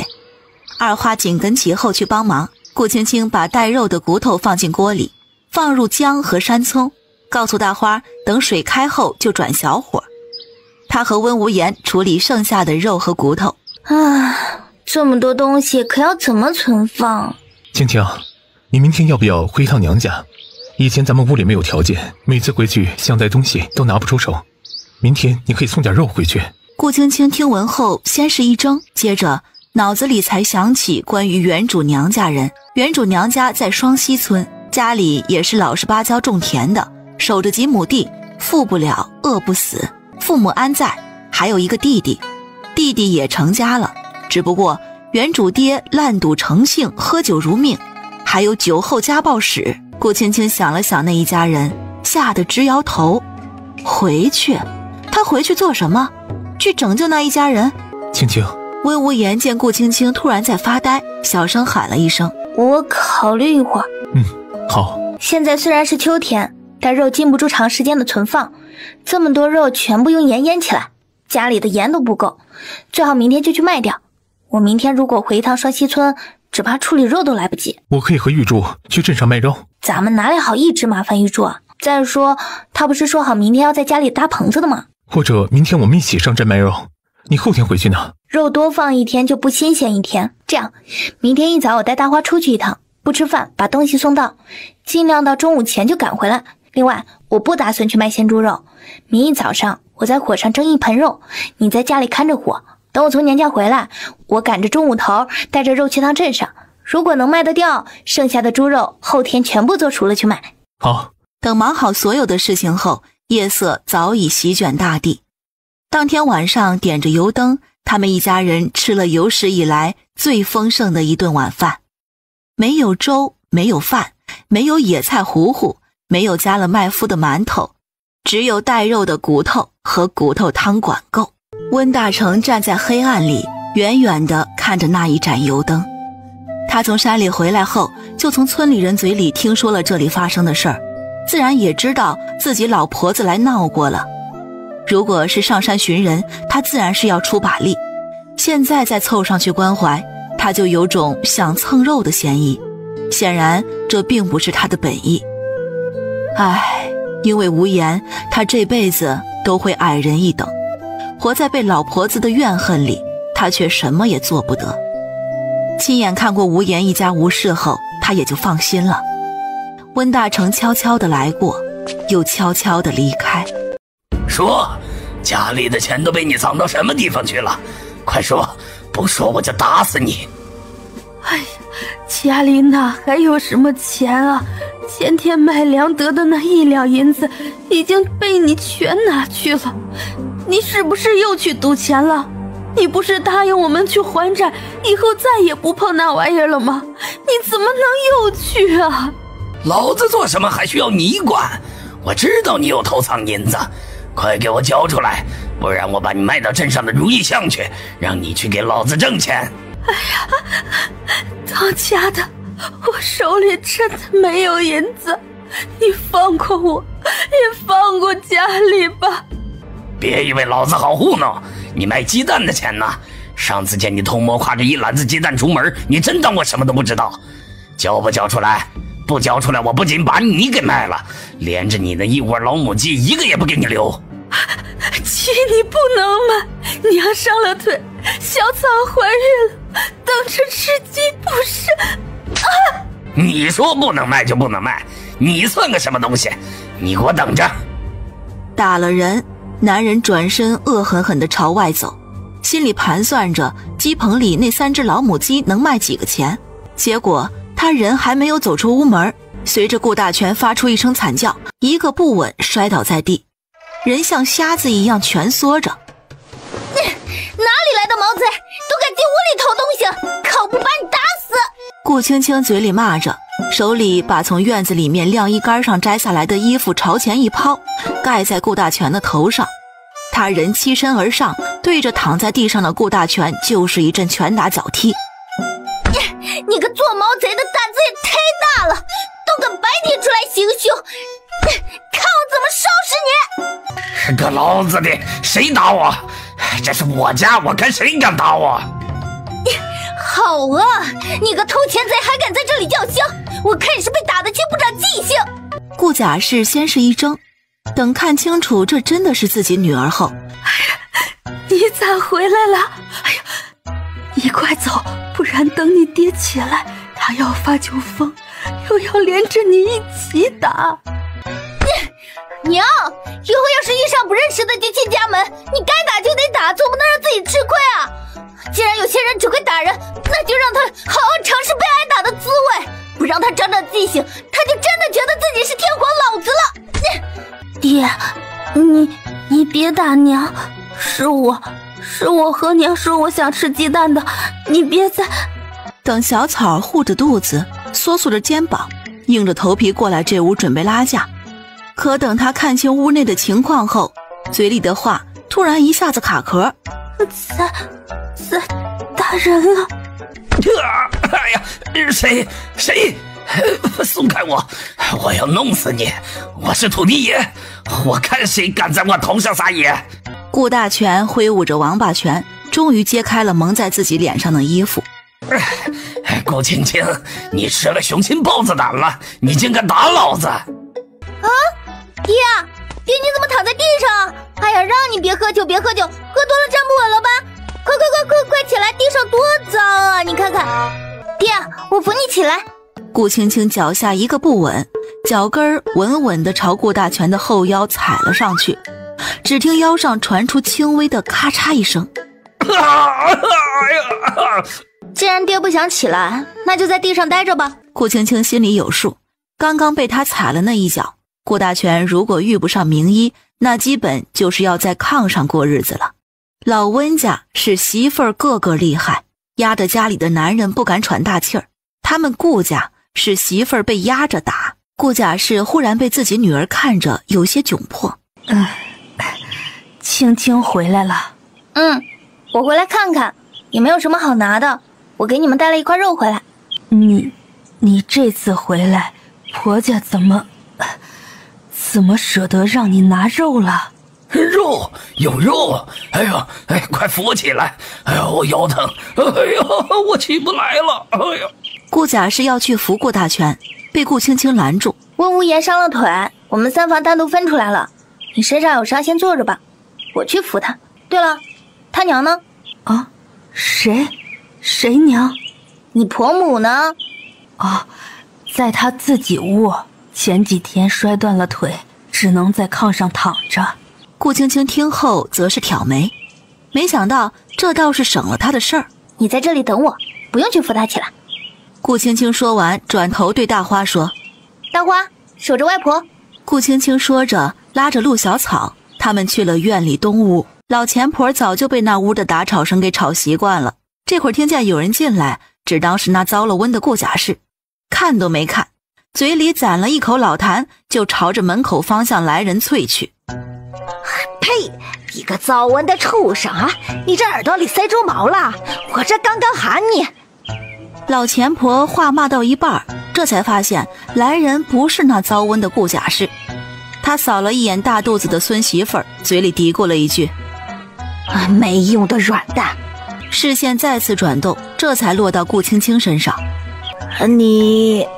你是那个死丫头，你这都嫁人了，你还回来做什么呀？啊，你这又惦记家里什么了？顾青青躲开那口老痰，面对老钱婆的责问，压根儿不吱声，拿起架子上的粗布，弯腰就去擦地上的痰。就在老钱婆翻白眼看不起她时，走到她跟前儿，把粗布和粗布上的东西一并塞进她嘴里。既然已经断了腿，躺着不能动身。那就好好躺着养伤，别想着躺在炕上还能作妖。老钱婆喘着粗气，干枯的脖子上抱着青筋，依然挣扎的厉害。顾青青根本不为所动，转头对着站在她身后跟个木头似的陆小草说：“过来按着他。”大姐，我我不敢。他都不能动了，你怕什么？难道要一辈子都这样像烂草一样的活着吗？过来，坚持住了就当家做主，坚持不住就等着继续过以前的日子吧。顾壮壮这名字真是硬身高，一家人都属于偏瘦的，就他一个人长得那是五大三粗。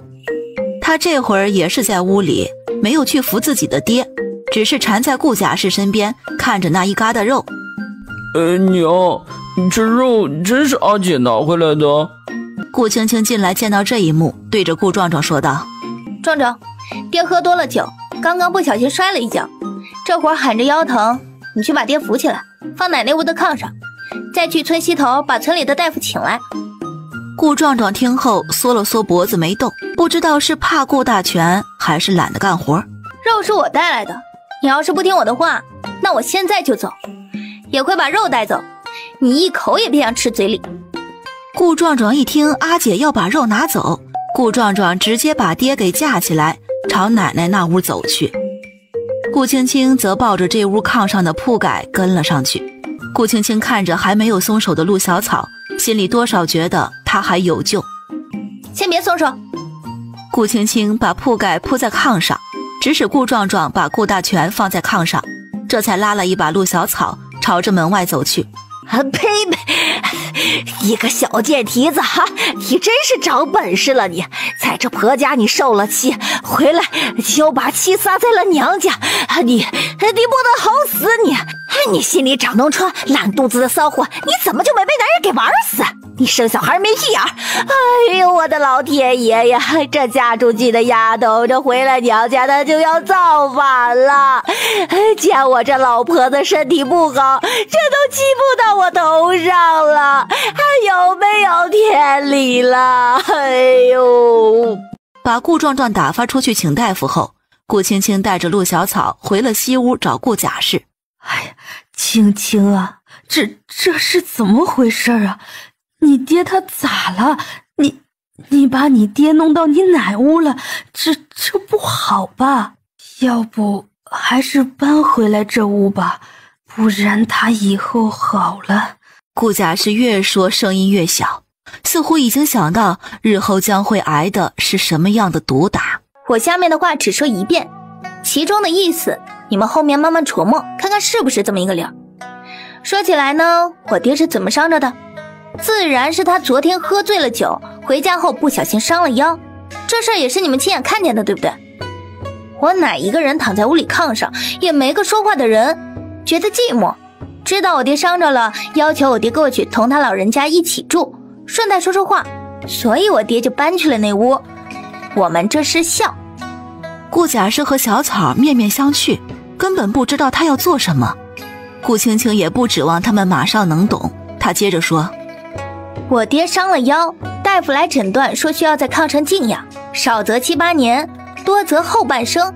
这样农忙时，家里虽然缺少一个壮汉当劳动力，但他同样也不能去赌博，不能喝酒。就算地里收入少上两分，和不赌博不喝酒比起来，地里收入失去的那份也算找补回来。”你们只要到饭点去喂一口吃的就好，想来你们也是可以做到的，是吧？当然，他肯定会躺在炕上骂人，不过也仅限如此而已啊！你们被打都不怕，被骂两句，只管一个耳朵进一个耳朵出嘛。从今日后，我爹既然没法下炕干活，我奶也卧炕不起。娘，你干活的同时也要学会当好这个家，总不能这个时候还要指望两个病人来管事儿吧？你当家。就是对他们最大的回报。日后什么事都要学会自己拿主意做决定，拿不定主意的就和小草、壮壮一起商量。别有什么事儿就要去问爹奶，知道的是你尊重他们，不知道的还以为是你这个儿媳妇不懂得照顾病人。他们都已经生病了，难道还要跟着操劳？明白了吗？顾青青一口气说完，视线落在顾贾氏身上。顾贾氏被欺负了一辈子。在家大气儿都不敢喘，这会儿突然说要他当家，他，他哪里会呀？所以他慌得压根儿不敢去看自己的女儿。娘，看着我的眼睛，娘，你心地善良，你也不想自己的孙子出生后还要被他爷爷打，被曾祖骂。我爹生病了，他再也起不来了，再也打不了你了，所以你还怕什么？青青啊，你说的。我听明白了，可万一过了几天，你爹身体好了，我这几天要是没伺候好他，他打我我不怕，我怕他非要卖家里的鸡，还还有你奶，他现在是病了，可哪天他要是也能站起来，他闹起来，还有村里，我。唉另外，当家我不会。壮壮去请村里的大夫了，等会儿娘听听大夫怎么说。至于奶，她今年已经五十六了，身体就像秋天的苗，这么一病，身体元气大伤。娘年轻，是地里正要抽穗的苗，谁强谁弱不用我说吧。他现在是病了，在炕上肯定会骂你们砸碗筷，那你要用行动告诉他们，饭。每顿只有那么一碗，他们要是敢丢在地上，那只能等下顿再吃。家里又不是什么富裕户，经不起浪费。至于村里，叔叔伯伯早就不和我们来往了，周围邻居也不会闲着没事赶来管咱们家的家里事儿，所以你们压根儿就不用在意他们。至于当家，无非就是春耕秋收，该交税时跟着大家一起交，这些原本也是娘在打理啊，所以你都是会的嘛。入冬时备好过冬的柴，村里谁家有事儿该去帮忙就去帮忙。想想屋里的粮食还能吃到什么时候？如果不够吃，趁着现在还有野草就去挖些晒干备起来。娘，你听大姐说的这些，都是我们平日里这么做的啊。接着，顾青青把能想到的话揉碎了和他们说，就为他们能够理解其中的道理。临走前。她把带来的十个铜板交给顾贾氏，这个你留着，也不多，备个不时之需。另外记住，日后家里再卖了什么，银子就握在你自己手里，不用上交给爹或者奶，这样你才是真正当家的。钱你留着吧，你和无言不是被分出来了，日子想来也不好过。我知道日后该怎么做了，我会慢慢撑起这个家，以后会好起来的。你来就是教我们做事儿，也没来得及问你们为啥被分出去，还有你怎么懂得这些事情的？以前你不是这样的。嗯，我之前和你一样，一直在选择顺从。有天婆母喂了一口奶水就把我头给打破了，然后我就明白了，人啊，顺从惯了，他们就不把我们当人了。既然我都快被他们打死了，那我还怕什么？我发疯呢！然后他们就怕了我了，接着就把我们这房给分出来了。顾青青说完，还是坚持把钱塞给了他。哎呀，留着吧，日后遇上什么事儿，最起码不会手里没个周转的。顾青青临走前看了看陆小草的肚子，问道：“几个月了？快六个月了，挺好的。日后多帮娘撑起这个家。”“嗯，我会的，大姐。”“我回去了。你们日后如果遇上什么真解决不了的事儿，”就去牛头村里找我，只不过我现在不住村里了，我住村东的山脚下。顾青青选择距离一家面摊不远的空地儿，摘下背后的竹筐，这才同大花说：“喊吧，肥而不腻，入口即化的烧白来了，先到先得，数量有限。肥而不腻，入口即化的烧白来了，先到先得，数量有限。”孩子的喊声瞬间吸引了街上行走的人的注意，纷纷朝着大花望去。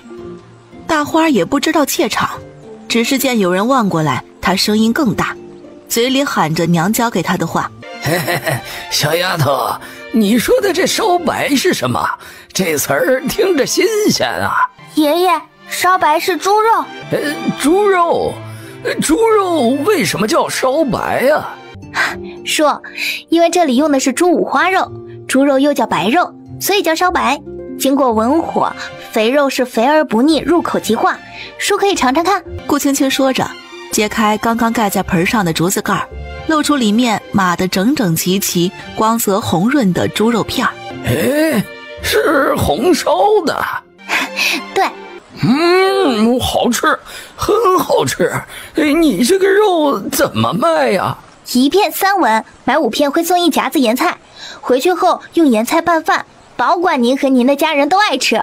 嗯，贵是有点贵，不过这味道确实是不错。呃，先给我来个五片。哎呀呀，我出来没带碗。你要是不嫌弃，我带了干净的竹筒，我就用这个同您盛。或者您家里要是距离这里近，也可以回去拿。我一时半会儿也走不了，我家不远，我会去拿碗，你等着我。心里却是想着要去拿钱。我给您留好，您慢慢走，不着急。老者离开，有一个妇人带着孩子路过，小孩子没有听懂烧白是什么，但他鼻子闻到香味儿，接着看着盆里的猪肉，再也挪不动脚。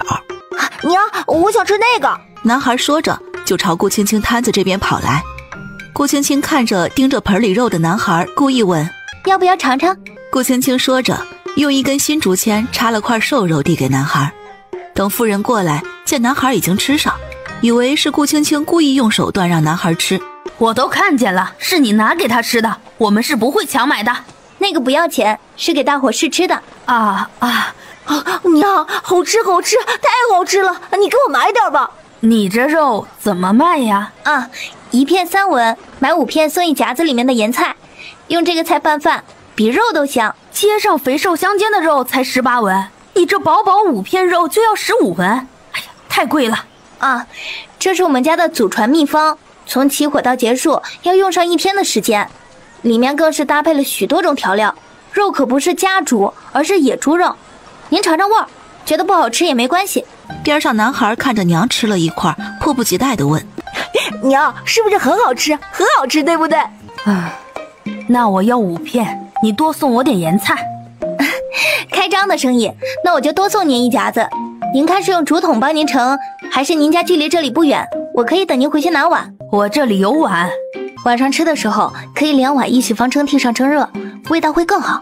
周围的人见真有人摆，闻着空气中若有若无的香味儿，也靠了过去。这时，一个三十岁出头的中年男人，脸色有些郁闷的，漫无目的的走在大街上。另一个男人手里拿着一个竹筒，他一边低头看着手上竹筒里的肉，一边急匆匆的赶路，结果就和别人撞了一个满怀。我的衣服，我的菜呀！你怎么走路的？也不看着点儿。哎呀呀呀呀！哎哎，对不住，对不住啊！走路注意着点儿。男人拍掉自己袖口上的菜，下意识的去闻闻有没有沾上什么怪味儿。嗯，等等，你手上拿的是什么？啊，你这盆里明明还有几片，怎么就不卖了呀？可是嫌我们没钱，我不多买，这匀我一片尝尝味儿也行啊。闻这味儿是忒香了。各位，这几片呢是一位老人家预定的，家距离这里也不远，是回家拿碗去了。承蒙大伙儿抬爱，我们明天一早就会在这里摆摊。想吃的大伙儿，明天不如来个早。要是能带上碗，那是再好不过了。中年男人到的时候，听见的就是自带碗的话，他以为是围观的人没有带碗，所以买不成。你这个烧白，我连盆一起买，你说个价格。这位大哥，实不相瞒，盆不能卖给您，盆里的肉也不能卖给您，这是前面的一位老人家订的，我答应要给他留着。您明天可以赶个早，明天我还会在这里摆摊的。被人订走了？顾青青点头。可收了定金？顾青青摇头。既然没有收定金，那就算不得数。你还是可以把东西卖给我，我可以出比他更高的价格。就是啊，都没交付定金，说不得人家不要了。要我说呀，还不如匀给我们几个，你也可以早回去。虽然我不曾收老人家的定金，是口头上答应的对方，除非对方不来，不然我不能自毁承诺。男人见说不通，也不生气，甚至很是看重对方信守承诺的品性。就在顾青青以为对方要走的时候，结果对方很是不好意思的提出：“里面的菜我能不能尝尝？菜有些凉了，可能会有些油腻。你要是不在意，我就给您加点儿。”等男人尝了味儿，更是不肯离去了。实在不是他就非吃这口不可，而是他有苦衷啊。男人是镇上沈府的管事，二爷从边关回来探亲，明天一早就能到家。老爷十分心疼他这个弟弟，每次得知二爷要回来，都会派他们这些管事仆人出去寻找一些好吃的回来。因为二爷所在的地方寒苦，每次回来都对好吃的格外感兴趣，其中肉类最是欢喜。你说他们镇上就这么大，经过这几年的寻找，哪里还能找到新玩意儿？这不，正在他踌躇之际，竟然遇上这道菜，怎么能放过？他今天说什么也要买到，得先拿回去给老爷尝尝。所以这会儿等周围的人都走光了，中年男人不仅没有离去，反而就在距离顾青青不远的地方，像木头一样杵在那里。既然卖家不把东西卖给他，那他就在这里等等买家，说不定事情还会出现转机。就在男人如此想时，最开始回家拿碗的老者终于气喘吁吁地回来。哎呀，没让你久等吧？哎呀，在家耽误了些时间呢。哎呀，顾青青看了看天色，却是笑着摇头。人来了就好，他也急着回去呢，不然到家天都要黑了。就在这时，一直等在边上的中年男人凑到老人跟前儿，在顾青青眼皮子底下用了一百文买走了属于老者的名额。我是沈府的管事，我没有家伙事儿，你这个盆可否借我拿走？等你明天来，我再还给你。当然，我会放押金在你这里。既然老者自己把名额让出去，顾青青对此也无可厚非。自然可以的。中年男人说着，付给他十五文肉钱。随后又付了一个四十文的押金。温无言拄着拐杖，抱着三花，带着二花，在大路口站着，直到看到他们母女回来，他紧绷的神情才松弛下来。你们怎么也在这里啊？见你们没回来，我在家也待不住，便和二花出来迎迎你们。怎么样，还顺利吗？还不错。有些没有买到的人，说我明天一早还会再来买。回去后有的辛苦了，我们要把剩下的肉全部都做出来。明天一早还得去上镇卖，明天拉车去，我们全家都去，顺带去牙行问问镇子上房子和咱们周围的地都是什么价格的。那明天辛苦你了。好说好说，等你日后腿好了，家里活多做些才是真的。自然，日后万不会让你如此辛苦。等顾青青到家，借着天空中仅剩的一点微光，看着家里多出来的一座茅草棚子，还是开心不已。他们速度可真快，只用了一天时间就把棚子给搭起来了。是啊，村里的人都做惯了这些，竹子昨天就是砍好的，所以会很快。这边灶台也砌上了，只不过还没有去干透，还得过上两天才能用。顾青青不太懂这些，不过还是很欢喜的上前摸了摸。我学着你昨天的做法，今天煮高粱米时也放了瘦肉和野菜，不知道好不好吃？是吗？那就尝尝。以前晚饭有一碗稀汤半个馍已经是顶天的好，他们现在是肉粥肉包随便吃，一家五口全部吃好。竹棚油灯下，顾青青和大花负责搬一些石头进来，温无言负责搭一个临时的灶台。他们把猪肉煮熟，盐菜炒好，需要的配料准备上。大花负责烧火，顾青青负责切肉。温无言按着顾青青的指挥，负责腌肉片、马肉片。天亮时，锅里的肉香几乎弥漫在了整个小山头。这得亏他们距离村里有段距离，不然不知道得馋哭多少孩子。